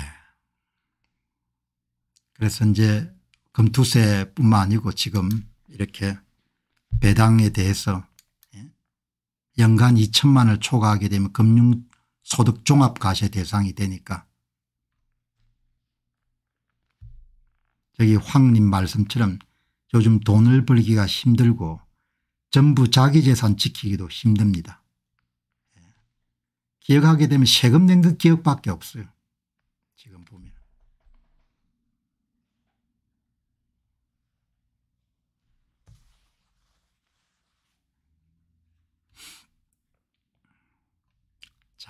그래서 여러분들 선거를 지키는 것이 그렇게 중요한데 국민들이 아무것도 자기를 보호할 수 있는 그런 수단들이 이제 없어져 버린 상태니까 예. 삼성이 이제 결국은 이제 창사 일에 처음으로 이제 쟁의에 들어가게 됐네요. 이 참 보시게 되면은 삼성이 비용을 많이 치르게 될 것으로 봅니다. 왜 그런가 하니까 삼성은 그동안 오랜 기간 동안 무노조 경영 원칙을 지켜왔기 때문에 이 노조 문제에 대한 그런 비용을 치른 역사가 없는 거죠. LG전자라든지 아니면 뭐 현대중공업 같은 경우는 숱한 비용을 치르면서 조직 내부에 노동조합과 관련한 그런 노하우가 축적돼 있을 거 아닙니까 그런데 지금 이제 삼성이 창사일의 첫 노조가 이제 예 그렇게 단체 시위를 하기로 했는데 전국 삼성전자 노동조합 한 2만 2천 명이네요. 예. 보시게 되면은 임금 협상을 위한 교섭이 파행한 지 하루 만에 이루어졌고 어, 그렇게 이제 아마 삼성이 이제 성과급을 나눠주는 기준이 경제적 부가가치로 따지는데 그보다 훨씬 더 큰 영업이익 기준으로 성과급을 달라 이렇게 요구하는 거죠. 일단 여러분들 이렇게 노조가 사내 여러 개가 생기게 되면은 또 노조 사이에 그런 구성원들을 확보하기 위해서 선명성 경쟁이 벌어지지 않습니까 예, 누가 누가 더 선명성을 가지느냐 선명성이라는 것은 더 강경하러 치닫게 될 수밖에 없는 거죠. 그리고 결국은 노동조합이라는 것이 결국은 권력이기 때문에 예, 결국은 그 권력을 누군가가 예, 선명하고 강성 기조를 가진 사람들이 결국 노도, 노동조합의 지휘권을 가질 수밖에 없고 특히 이제 한국은 상급 노동단체들이 워낙 그런 부분에 노하우가 축적이 많이 되어 있기 때문에 결국 삼성전자도 민주노총 산하의 가장 큰 부류가 될 거라고요. 그럼 뭐 이제 다음에는 뭐 그 다음은 알 수가 없는 거죠. 그리고 대개 이제 그 소위 그 노동조합의 지휘부가 되면은 자기 이익을 극대화하기 위해서 노동조합을 이끌게 될 수밖에 없잖아요. 예, 그러면 결국은 삼성전자의 노동조합도 정치화될 수밖에 없고 정치화되고 그다음에 세를 여러분들 규합해 가지고 사용자의 압박을 가하기 위해서는 상급 노동단체하고 여러분들 연계될 수밖에 없는 것이고 그럼 결국 민주노총에 여러분들 꼬리가 연결될 수밖에 없는 거죠. 그렇게 해서 그냥 회사가 어려워지게 되는 겁니다. 뭐 할 수가 없어요. 이 보면은. 예. 그동안은 이제 용수철을 누르는 것처럼 삼성의 여러분들 노력이 무경영 원칙에 입각해 가지고 많은 노력을 기울여서 그걸 억눌러 왔는데 그냥 그 용수철을 많이 오랫동안 4 50년 정도 눌러왔는데 그4 50년 부분이 다 이제 폭발해 가 여러분들 다 원상태로 원래 상태로 가는 거죠. 예. 한국 사회의 원래 상태로 돌아가는 겁니다. 삼성이라고 특별한 것이 아니고. 그러니까 그 LG전자라든지 현대중공업이 4 50년 동안 지금 치렀던 비용을 이제 앞으로 몇 년 사이에 왕창 지를 가능성이 높은 거죠. 예. 그러니까 뭐 어떻게 뭐 해볼 도리가 없는 겁니다. 그냥 정해진 길로 가는 겁니다. 한쪽은 4 50년 동안 치러왔고 조금씩 이제 삼성전자는 그냥 지금 치르는 겁니다. 그리고 사회 전체적인 분위기가 지금 예, 그냥 좌편향 쪽으로 가기 때문에 뭐 이런 조직이라고 해가지고 뭐 예외가 예외가 될 수 없는 거죠. 아마 삼성 내부에 근로윤리 같은 것도 많이 무너졌을 겁니다. 예. 근로윤리 같은 경우도. 이번에 이제 삼성전자에 특허를 담당했던 사람이 나와 가지고 회사를 상대로 수, 소송을 거론하는 거 보면 옛날에는 상상할 수 없었던 일이거든요. 이제 그게 한 단면인 거죠. 예. 아마 많이 어려워지겠죠. 예. 어려워지는데 이 보시게 되면은 이제 이 55년 만에 처음이고 파업이 그다음에 2만 8천 명을 갖고 있는 이제 내부에 노조가 뭐 두세 개 되는 모양이네요. 예, 이게 가장 큰 조직인 모양입니다. 그런데 반도체 사업부 직원이 절대 다수를 차지하는 거죠. 예. 1만 명에서 2만 8천 명으로 늘어난 것이 지난해 반도체 부진으로 성과급을 지불하지 못하게 되자 노조원 수가 급속히 늘어났다. 성과급이라는 것은 그야말로 성과급이지 않습니까 근데 반도체 시향이 좋아가지고 오랫동안 성과급을 받다 보면은 대부분 사람들은 그걸 고정급으로 받아들이게 되는 익숙해지게 되니까 그러니까 작년도 시향이 어마어마하게 안 좋았지 않습니까 그 이제 아 우리도 노조를 결성해 가지고 사용자 측과 대응해야 우리가 손해를 보지 않겠다 그렇게 생각한 사람이 뭐 18,000명 정도 더 늘어난 거네요. 당연히 이런 성과급이 예? 작년처럼 반도체 불황이 돼가지고 여러분들 1년에 회사가 아마 작년에 14조인가 이런 적자를 봤죠. 근데 성과급을 어떻게 줍니까 예. 그러나 그거는 놀린 거고 사람들은 그런 거를 뭐죠 예. 웅성웅성 끼리끼리 해가지고 여러분들 받아들이기가 힘든 겁니다. 그래서 참 한국에 점점 사업하기가 힘들어지는 환경이 되는 겁니다. 성과급은 성과급이잖아요. 회사가 10, 10조 14조 정도 적자를 냈는데 돈을 어떻게 줍니까 돈을 주는 게 아, 돈을 줄 수가 없지 않습니까 그러나 보통 사람들은 뭐 이미 익숙했기 때문에 적자 나더라 돈, 돈 내라는 겁니다. 그렇게 그렇게 이제 골로 가는 겁니다. 예, 삼성은 지금 큰 문제지 않습니까 그동안 절대적인 강자를 차지했지만 메모리 반도체를 이런 적청 8층 12층으로 쌓아 올린 고대 역풍 메모리 HBM이 지금 SK가 엔비디아에 독점 공급을 해가지고 아직도 검증을 못 받은 거 아닙니까 제품을 실험용으로 제출했던 것이. 예. 그 이제 삼성은 어마어마하게 지금 어려운 상황이네. 이런 주가 보시기 바랍니다. 완전히 뭡니까 주가가 그냥 개판이지 않습니까 삼성 주가 보시기 바랍니다. 이 보시기 바랍니다. 지난 1년 동안 여러분들 주가가 그 여러분들 4% 오른 겁니다. 4%. 경쟁사인 TSMC 대만 반도체가 여러분들 한 90% 이상 올랐지 않습니까 1년 동안에. SK 하이닉스가 83% 올랐습니다. 1년 동안에. 그런데 주가가 이 모양인 겁니다. 삼성전자에 투자했던 여러분들 투자자들이 얼마나 손해를 많이 봤습니까 어떻게 여러분들 우리는 꼭 그렇게 마지막을 보고 난 다음에 깨닫는지 도무지 이해를 할 수가 없어요. 사람은 근대 교육이나 현대 교육을 받았으면 기존의 이런 역사적 사례를 보고 다음을 예상해야 준비를 해야 되지 않습니까 예. 항상 뭐죠 예. 끝자락을 보고 난 다음에 정신을 차리는 겁니다. 예, 보통 문제가 아닙니다. 지금 삼성은. 그렇지 않더라도 제가 내부 사정을 자세히 들여다보지 않았지만 삼성 내부의 근로윤리라는 게 많이 이완이 됐을 겁니다. 충성도라든지 옛날 우리 세대처럼 그렇게 일하고 할 수가 없지 않습니까 예, 그런 상태에서 예, 이제 이렇게 된 겁니다. 그러니까 이 보시게 되면 고작 이름들 1년 동안 4% 올랐으니까 거의 오르지 않은 거죠 주식이. 이 SKI 주식시장처럼 정확하게 평가를 내린 데가 없지 않습니까 모간 스탠리 같은 것이 삼성에 여러분들 오늘 보니까 모간 스탠리가 삼성전자 추천 종목에서 빼버렸더구먼요. SK 하이닉스는 나는데 삼성전자는 왜 이래 글로벌 투자은행도 추천, 추천 종목에서 빼버리다. 외국계 투자은행은 추천 종목에서 삼성전자를 제외하고 있다.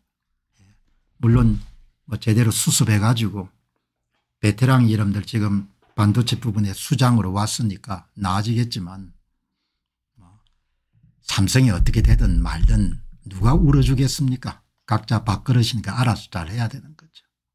그러나 일단 노조 부분들이 강성화되기 시작하게 되면 그때부터는 뭐 제어하기가 힘들죠.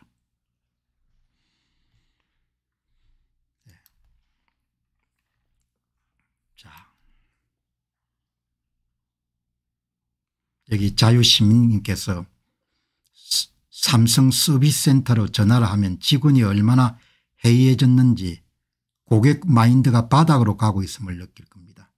삼성이라고 해가지고 한국 사회 전반하고 여러분들 유리되어 있지는 않을 겁니다.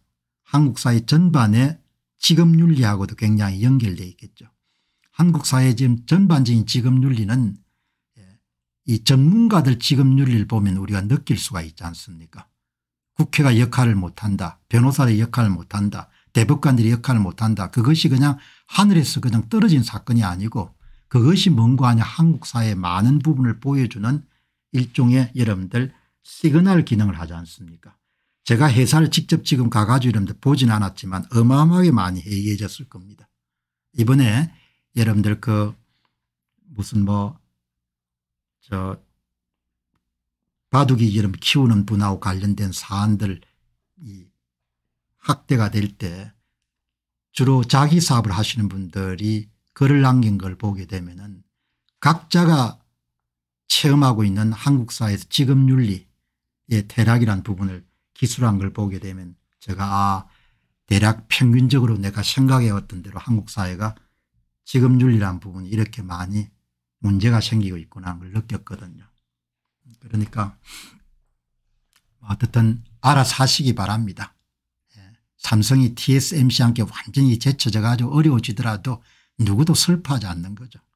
예. 본인들이 알아서 그냥 예. 정신 차리든지 안 한 차리든지 그건 알아서 한 거죠. 자, 여기 보시게 되면은 예, 오늘 이제 이 이분이 아마 한국에서 가장 그 ETF 상장 지수 펀드 예, 이걸 맨 처음 만드신 분이네요. 배재규 예. 이 업계에서 1961년생이라는 거 상당히 나이가 많은 편에 속하시는데 인터뷰를 했는데 인터뷰의 전부를 뭐 제가 볼 때는 보실 필요가 없고 그다음에 또 이분이 한국투자신탁 한국투자 자산운용회사의 대표이기 때문에 또 회사 입장을 또 생각하지 않을 수 없는 그런 측면이 있지만 제가 볼 때는 투자에 대해서 한번 이분 그러니까 업계에 오래 있은 분의 이야기를 한번 참조하고 제가 필요한 논평을 좀 드리도록 그렇게 하겠습니다. 여기 보시게 되면 은 현재 미국에서는 상장지수 펀드 Exchange Trade Fund라고 그렇게 하죠. 미국 시장에서는 총 주식 시장의 20%를 차지하고 한국은 8%를 차지합니다. 아마 이분이 가장 최초의 ETF란 상품을 한국에 내놓으신 것 같은데 예, 이 소위 인터뷰는 그 사람이 갖고 있는 그런 통찰력을 이해하는 데 굉장히 현안에 대한 진단을 이해하는 데 굉장히 좋은 수단인 거죠. 원렌 버핏은 제도업 시대에 투자 실적을 낸 인물입니다. 그러나 지금은 기술주 시대입니다. 원렌 버핏의 지주회사인 버커셔 해스웨이는 가 하는 투자 방식은 수익을 내기 어려운 시대가 됐습니다. 이제는 기술주 시대입니다. 나스닥 상장지수 펀드에 투자해야 됩니다. 인터뷰의 핵심 메시지인 겁니다. 예. 예. 아주 중요한 그런 메시지고 원런 버핏이 이런 버크셔 해스웨이 여러분들 그런 주가가 굉장히 높지 않습니까 원래 버핏이 가고 나면 이제 어떻게 성과를 낼지는 알 수가 없는데 어, 이 조언은 상당히 여러분들 중요한 통찰력인 거죠.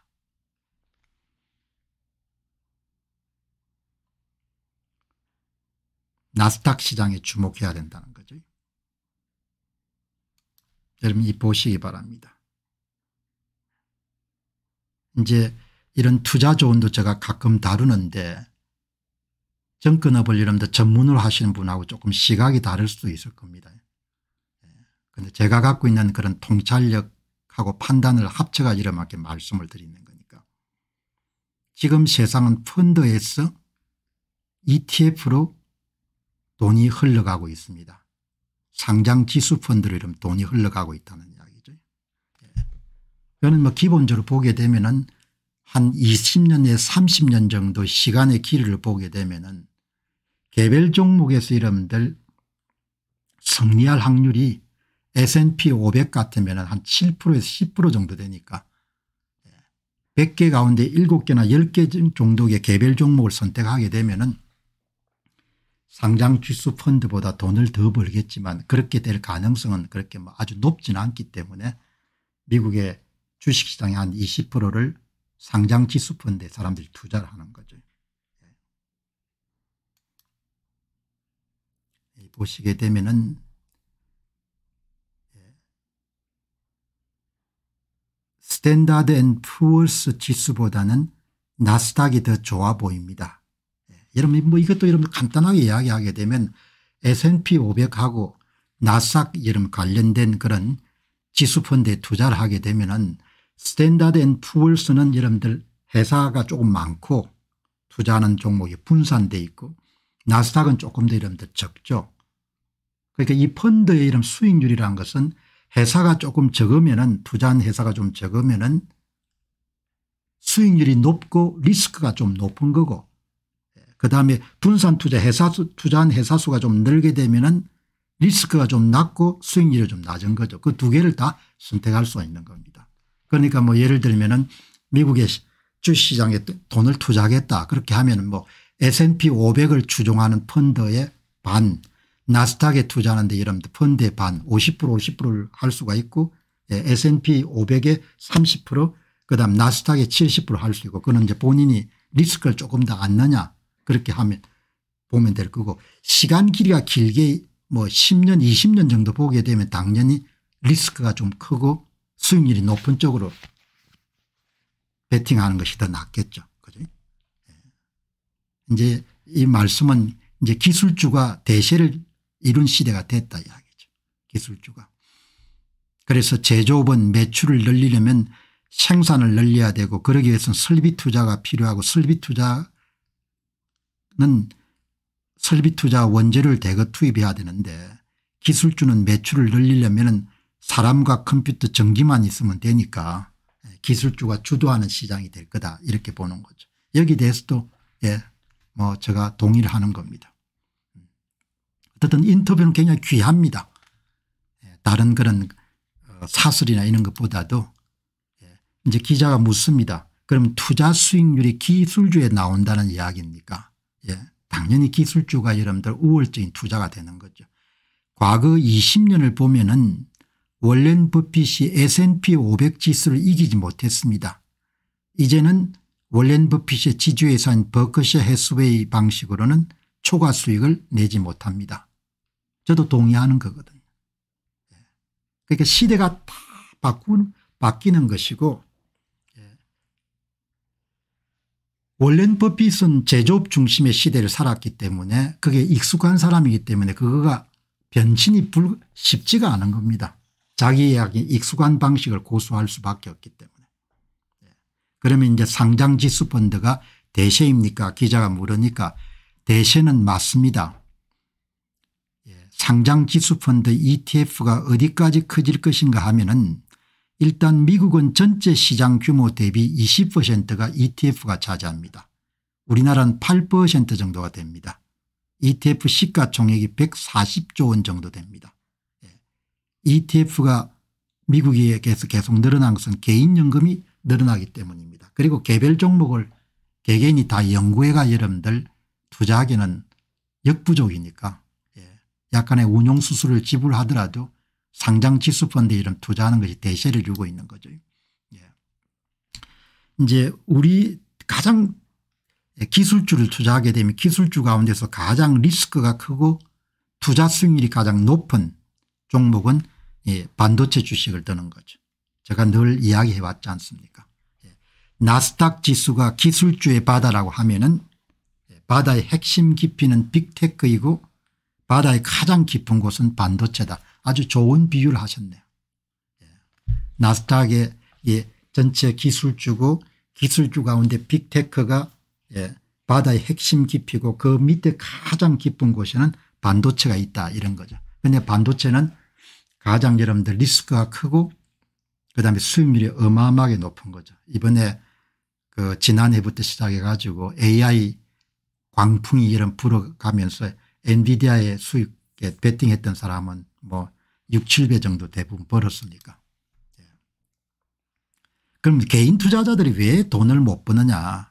예, 갖고 있다가 특정 회사에 대한 뭐죠. 좋지 못한 기사들이 쏟아져 나오면 그걸 견디기가 힘들고 팔아버릴 수, 팔아버리기 때문에 나온 거죠.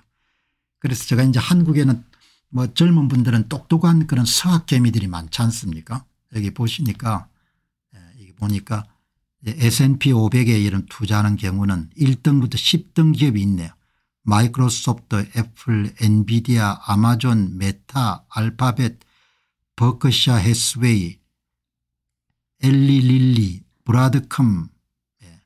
이 알파벳은 구글을 이야기한 겁니다. 예. 이게 10등 종목이네요. S&P 500에 투자하는 것은 미국 주식시장 전체에 투자한다고 이야기할 수 있다. 예. 가장 여러분들 대표적인 그런 이 종목에 투자하는 상장지수 펀드는 여기 잘 나와 있네요. 한 분이 잘 정리해 놨네요. SPY, VOO, IVB 예. 1년에 0.09%의 운영수수료를 지불하고 배당은 1.29%를 주고 예. 미국 사람들이 가장 많이 하는 것이 S&P 500을 주장하는 SPY를 가장 많이 사죠. 펀드 규모 가장 클 겁니다. 이게 SPY가. 예. 그다음에 이제 리스크를 조금 더 감당하겠다 이렇게 하면 이제 나스닥 100을 투자하는 거죠. 대부분 여러분 1등 2등이 대부분 마이크로소프트하고 애플입니다. 마이크로소프트, 애플, 엔비디아, 아마존, 메타, 브로드컴 그다음 구글, 테슬라, 코스트코 이렇게 되어 있는 거죠. 수익률이 조금 더 높죠. 예, 위험이 조금 더 크고 이걸 대표하는 여러분들 상장 펀드는 QQQ, QQQM이죠. 이 두 개의 차이는 거의 같은데 운용수수료가 조금 싼 겁니다. 예, 이게 0.20% 0.15% 똑같습니다. 거의 뭐 이렇게 보유하고 있는 종목은. 자, 그럼 여러분이 보시게 되면은 제가 한번 이 보니까 이 수익률 보시기 바랍니다. 이게 5년입니다. 어, 5년. 5년 보시게 되면은 이 초록색이 S&P 500 그다음에 S&P 500을 추종하기 때문에 SPY는 똑같죠. 그보다 수익률이 더 높은 것이 QQQ 나스닥을 추종하는 것이고 그다음에 이제 여기는 소개 안 됐는데 기술주만 좀 집중적으로 여러분들 좀 적게 적은 회사를 투입한 것이 XLK인 거죠. 예, 그러니까 여기 보시게 되면 10년치도 마찬가지입니다. 10년치도. 그러니까 방법은 아주 여러분들 간단합니다. 예. 좀 젊은 분들 같으면 예, 너무 욕심 부리지 말고 지금부터 이렇게 XLK SPY, QQQ 이렇게 나누어가 이름 투자를 하면 되겠죠. 리스크를 좀 더 안고 수익률을 높이겠다 하면 예, 기술주 투자만 모은 XLK 예. 그다음 여러분들 다음으로 여러분들 리스크가 좀 적고 수익률이 높은 거라면 나스닥 추종하는 QQQM 좀 안정적이고 수익률이 좀 낮은 S&P 500을 구하면 SPY 이렇게 하면 되는 거죠. 그죠? 예. 우리는 그런 어, 교훈을 많이 이렇게 못 받았으니까 언젠가 미국에서 가장 큰 주식회사 가운데 하나인 그런 정권회사 가운데 하나인 그런 찰스 수압의 오나 딸이 이제 은퇴를 하는데 한 번 제가 말씀을 드렸죠. 예. 찰스 수압의 이름들 딸이 이제 은퇴를 하는데 23살 때 찰스 수압에 입사를 했을 때 아버지가 부르더만은 그렇게 좋은 아들한 거 아닙니까 참 귀한 조언입니다. 펀드 가운데 한 두 개를 선택하고 예, 은퇴 계좌를 만든 다음에 1년에 한 6천 불 정도를 계속해서 부어라 두 개. 예, 그러니까 상장 지수 펀드 두 개. 상장 지수 펀드를 두 개를 고를 때는 예, 운용 수수료가 좀 낮고 그다음에 조금 잘 고루 분산된 그러니까 그 찰수압이 딸한테 준 조언은 욕심 부리지 말고 은퇴구자에 1년에 6천 불 그리고 이제 미국 같은 경우 401K인가 직장인이 또 붙는 게 있지 않습니까 예, 직장인 그 뭐라고 부르는 직장인 은퇴계좌 예, IRA를 또, 또 은퇴계좌죠. 예. 그 얼마나 귀한 교훈입니까 그래 한 3, 40년 정도 붙게 되면 나올 때 한 100만 불 이상 정도를 불입해가 나오겠죠. 예. 그러니까 이 장기 투자를 하는 건데 뭐 코인 하시는 분들 계시지만 뭐 거기에 대해서는 제가 뭐라고 이렇게 이야기를 할 수가 없을 것 같은데 젊은 분들 같으면은 너무 조급해하지 말고 뭐 30대에 딱 시작하게 되면은 지금 말씀드린 XLK, SPY, QQQ 이 세 개 가운데 그냥 한 두 개 선택하는 겁니다. 예.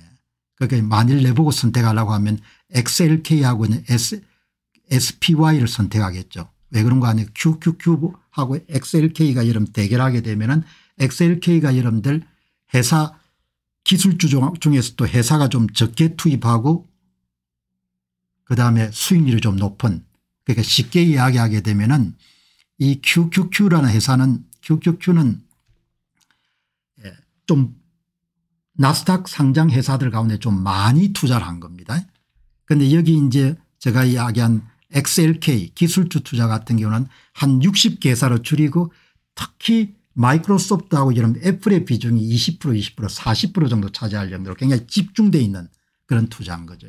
그리고 또 이와 같은 상품들이 한국에 비슷한 상품들이 굉장히 많이 나와 있지 않습니까 미래에셋이라든지 KB자산운용이라든지 한국투자 자산운용이라든지 삼성자산운용 같은 데서는 똑같이 미국 나스닥이라는 S&P를 여러분들 벤치마킹해가 여러분들 운영하는 부분들이 많으니까 저는 우리는 그런 교육을 못 받았지 않습니까 부모들한테.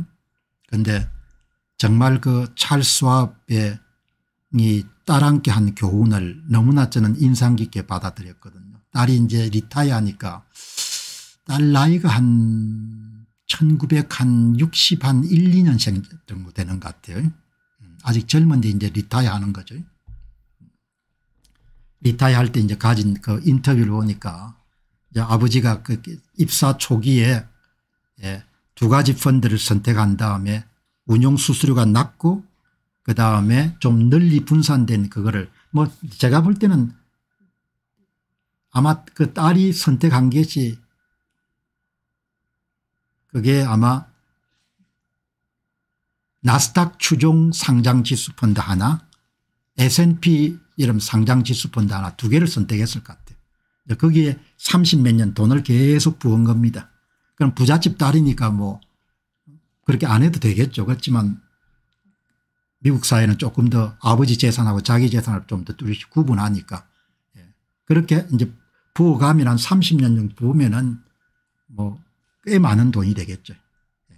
그러니까 굉장히 좋은 그런 방법이고 이걸 보면 딱 나오지 않습니까 이렇게 나오면 이러면 충분히 예상 가능한 미래거든요. 이렇게 볼 수 있으면.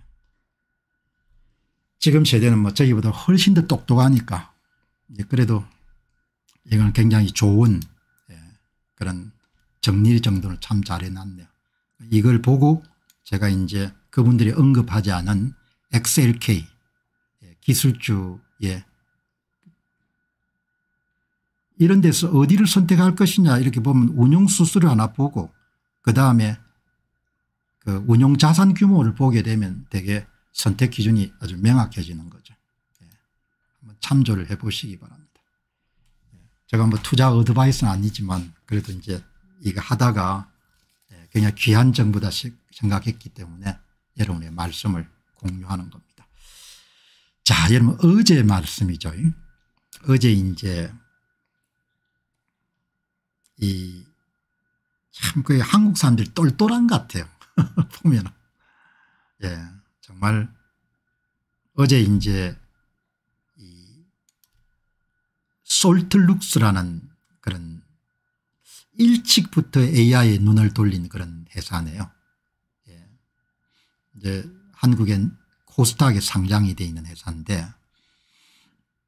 솔트룩스의 이경일 대표가 이제 인터뷰한 내용을 간단하게 소개해 드렸는데 가치가 있기 때문에 한번 오늘 더 보는데 이제 어제 그 이야기 했지 않습니까 예, 아주 큰 그런 업체가 아닌데도 미국의 그런 인공지능 검색 그냥 검색 그 다음에 AI를 이용한 검색을 인공지능 검색 이 분야에서 퍼플렉시티가 아주 인기를 끌고 있다 이렇게 이경일 대표가 말씀하셨지 않습니까 근데 그 퍼플렉시티는 다른 그 AI 검색에 비해 가지고 이 콘텐츠가 상당히 맞춤형에 가까운 그런 콘텐츠거든요.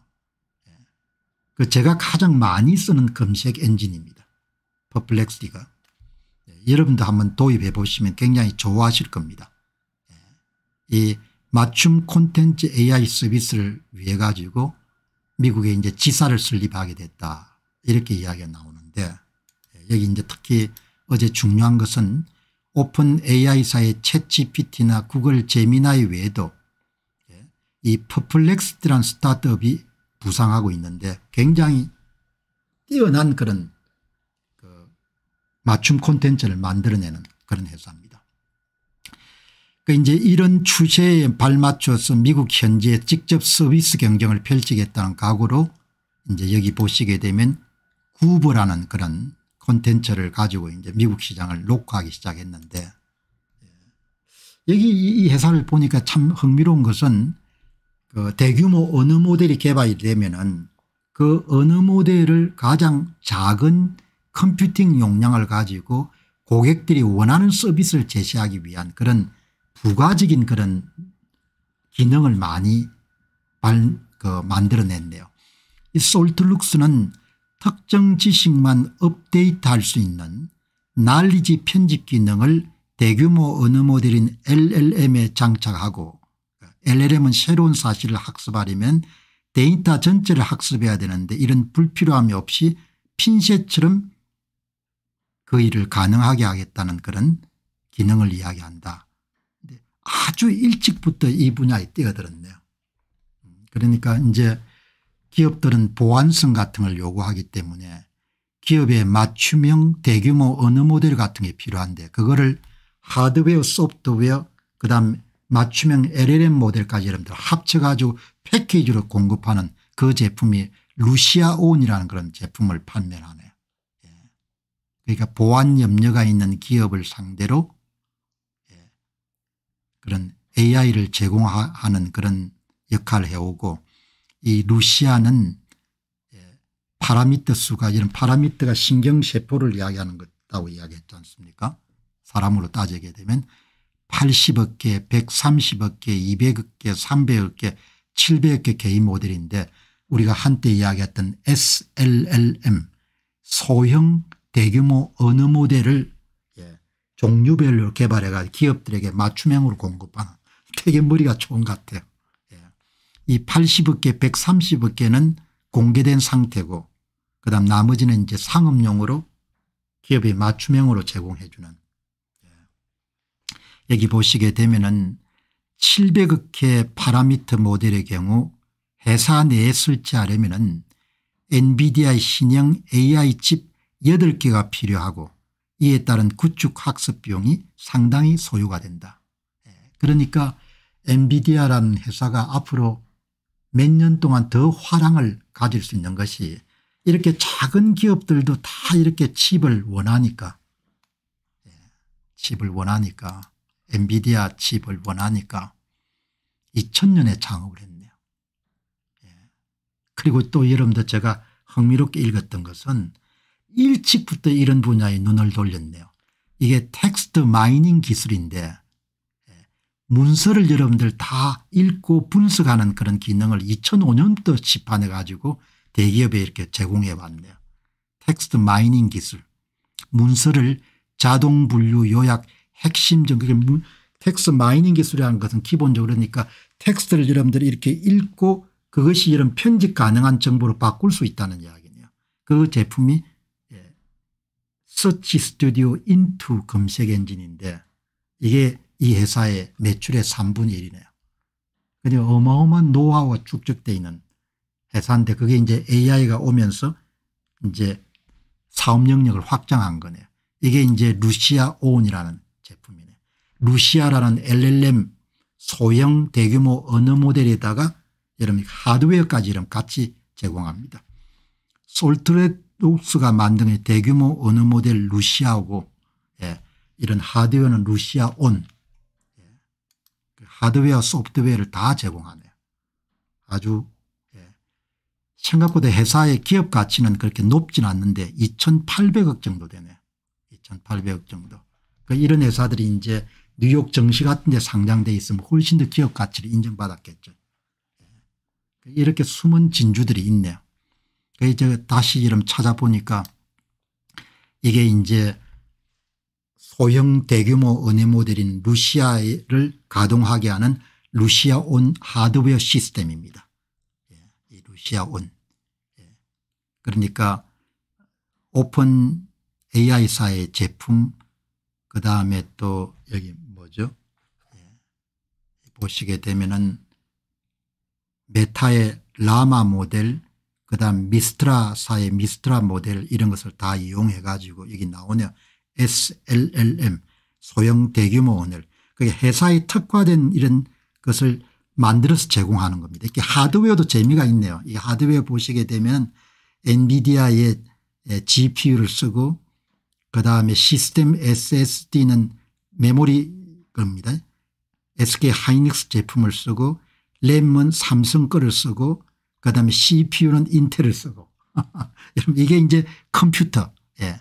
AI 컴퓨터의 사양인 겁니다. 이렇게 사양도 다 제공을 하네요. 참 사람들 참 똑똑합니다. 예. 그러니까 이게 참 하나하나 들여다보게 되면은 이렇게 발빠르게 뭐 오픈 AI사의 채 GPT가 나온 지가 아마 한 1년 6개월 정도 된데 이렇게 상업화해가 여러분들 장사를 하시는 분들이 나오네요. 예. 자 이렇게 여러분들 정리를 하시면 좋을 것 같습니다. 자 여러분 저 오늘 어, 방송 마지막 내용 다루도록 하겠습니다. AI 비서 AI 의사 AI 진단 뭐 이런 게 다 나오는 AI 변호사 예. AI 감독도 나오겠네요. 영화를 만들어주네요. 영화를 만드는 겁니다. 영화를. 예. 이게 임희윤이라는 예. 영화업계에 굉장히 정통하신 분이 글을 적었는데 영화업계는 어떤 변화가 일어나고 있는가 이렇게 보니까 AI 작곡 서비스를 보고 쓰러질 뻔했다. 빨리 이 판을 떠나야겠다. 예. 인간, 인간지능이 발달하게 되면 예술은 앞으로 어떻게 바뀌게 되는 것인가 인간의 창작은 어떻게 되는 것인가 대단히 시사적인 이야기입니다. 예. 전방위로 영향을 미치겠네요. 예.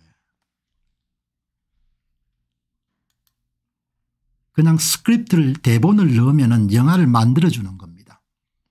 얼마 전에 한 게임 음악 시연의 사회를 보러 갔다가 행사가 끝나고 난 다음에 작곡 평론가와 이야기를 나눌 기회가 있었는데 그분이 저에게 낯선 인터넷 사이트 주소를 하나 건넸습니다. 지금 베타 서비스 중인데 실험 중인데 조용히 혼자만 들어가 보시기 바랍니다. 아직 거의 알려지지 않았습니다. AI 작곡 서비스 몇 곡 의뢰해보고 제가 쓰러질 뻔했거든요. 한 1, 2년 바짝 일하고 이 판을 떠나야겠습니다. 이런 것이 상용화되면 저 같은 작곡가들은 정말 할 일이 없을 것입니다. 반농담처럼 너털 웃음을 지었지만 그의 말을 성분 분석하게 되면 농담은 10% 미만이 될 듯하다. 제가 자주 이야기하지만 현업과 조금씩 이렇게 거리를 두는 그런 입장이 돼서 가슴을 쓸어내리겠는데 앞으로 지금 직업전선에서 한참 뛰는 사람들은 예, 얼마나 이런 일자리를 지키는 문제가 어려운 문제인가라는 부분을 처절하게 실감할 수 있지 않겠냐 생각이 들거든요. 예. 이게 여러분들 그래서 제가 이런 내용을 저 자신도 자극을 받고 여러분들에게 정보를 제공하기 위해서 이렇게 이야기를 하는 겁니다.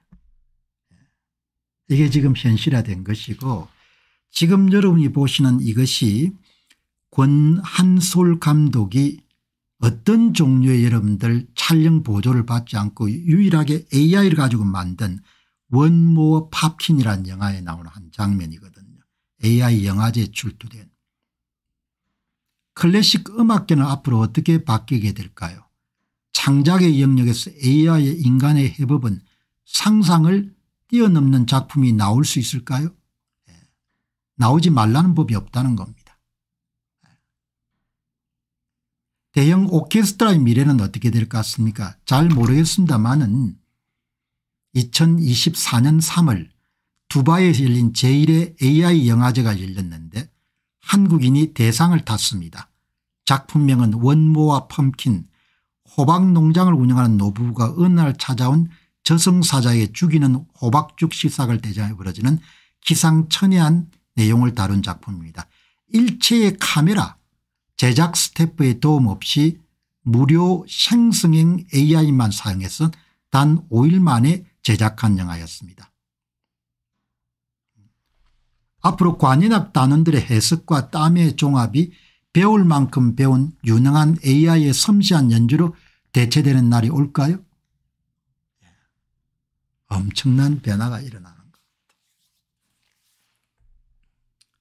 예. 여러분 이런 시대가 지금 뭐 하루가 다르게 여러분들 펼쳐지고 있는 겁니다. 실현 작사 작곡 편곡 음악 창작이나 연주의 모든 영역에서 빠른 시간 내 AI는 인간의 협업이나 분업의 파트너 또는 하청업체 역할을 할 가능성이 매우 높아지고 있습니다. 연주자 가운데선 자신만의 개성이 강하며 종잡을 수 없는 접근성과 상상력을 지닌 아티스트만 살아남을 가능성이 높습니다.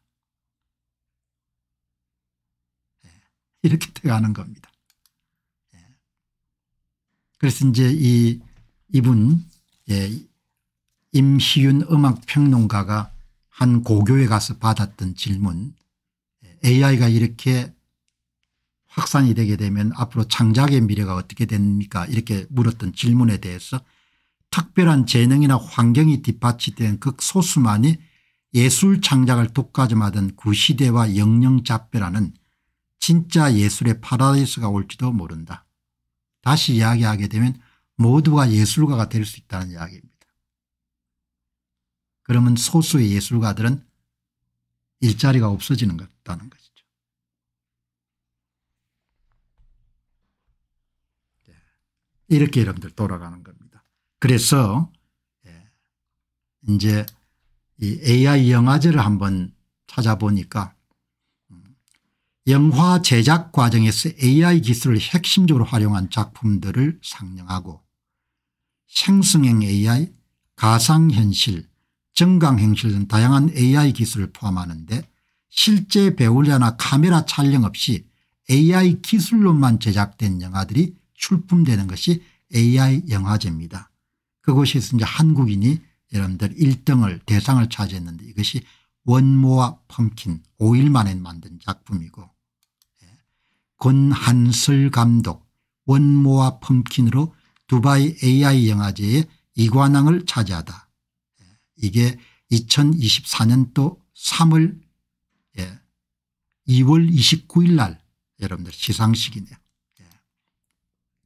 생성형 제작 기술에 소요된 시간은 단 5일 영화의 모든 장면과 음성은 실사 촬영과 CG 보정이 없는 순수 생성형 AI만으로 만들었고 권한설 감독은 최근 오픈 AI의 소라 공개 등 AI를 통해 영상 제작의 패러다임이 바뀌는 시기에 의미 있는 수상을 한 것 같아서 영광이다. 예. 상상할 수 없는 일이 벌어진 겁니다. 대본만 있으면 은 AI가 여러분들 뚝딱하고 뭐죠 제품을 만들어 줄 수 있는 제형인 겁니다.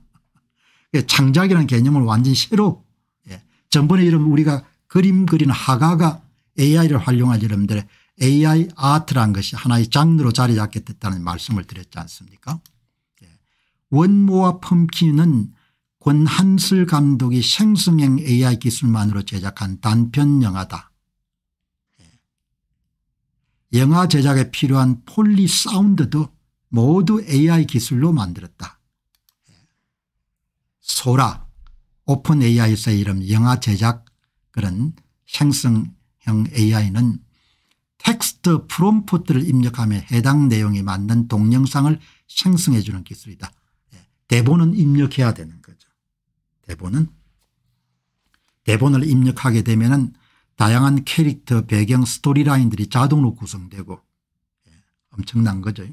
그래서 여러분 제가 방송 드리기 전에 실험을 해봐봤더니 대본이 워낙 부실해 가지고 제가 의도한 그런 건 나오지 않았는데 대본을 좀 정교하게 짤 수 있으면 훌륭한 단편 영화를 만들 수가 있는 겁니다. 예. 그러니까 여러분께서 궁금하시게 되면은 지금 소라 들어가셔 가지고 한번 만들어 보시기 바랍니다. 스토리만 여러분들 제공하시면 됩니다. 언제 누구와 어느 시점에서 이렇게 만드시게 되면은 예, 만들어 가겠네요. 음. 영화계의 반응은 유명 제작자가 8억 달러 규모의 스튜디오 신축 계획을 세웠다가 소라 기술에 충격을 받아서 중단해버리고 말았다. 엄청난 변혁, 변혁이 일어나는 겁니다. 예. 이런 여러분들 변화의 중심에 우리가 서 있는 겁니다. 엄청난 거죠. 저도 뭐 아주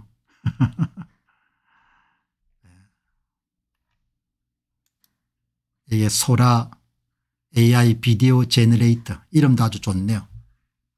AI가 비디오를 generator 생성해내는 이 소라 프로그램입니다. 자 여러분 오늘 어, 방송 잘 들으셨죠 예. 역동적인 세계를 볼 수가 있는 그런 방송 내용을 여러분들이 오늘 정리해서 말씀드렸습니다. 자 여러분 내일도 새 주제 가지고 예, 아침 5시에 여러분 찾아뵙도록 그렇게 하겠습니다. 오늘 좋은 시간 만들어 가시기 바랍니다. 고맙습니다.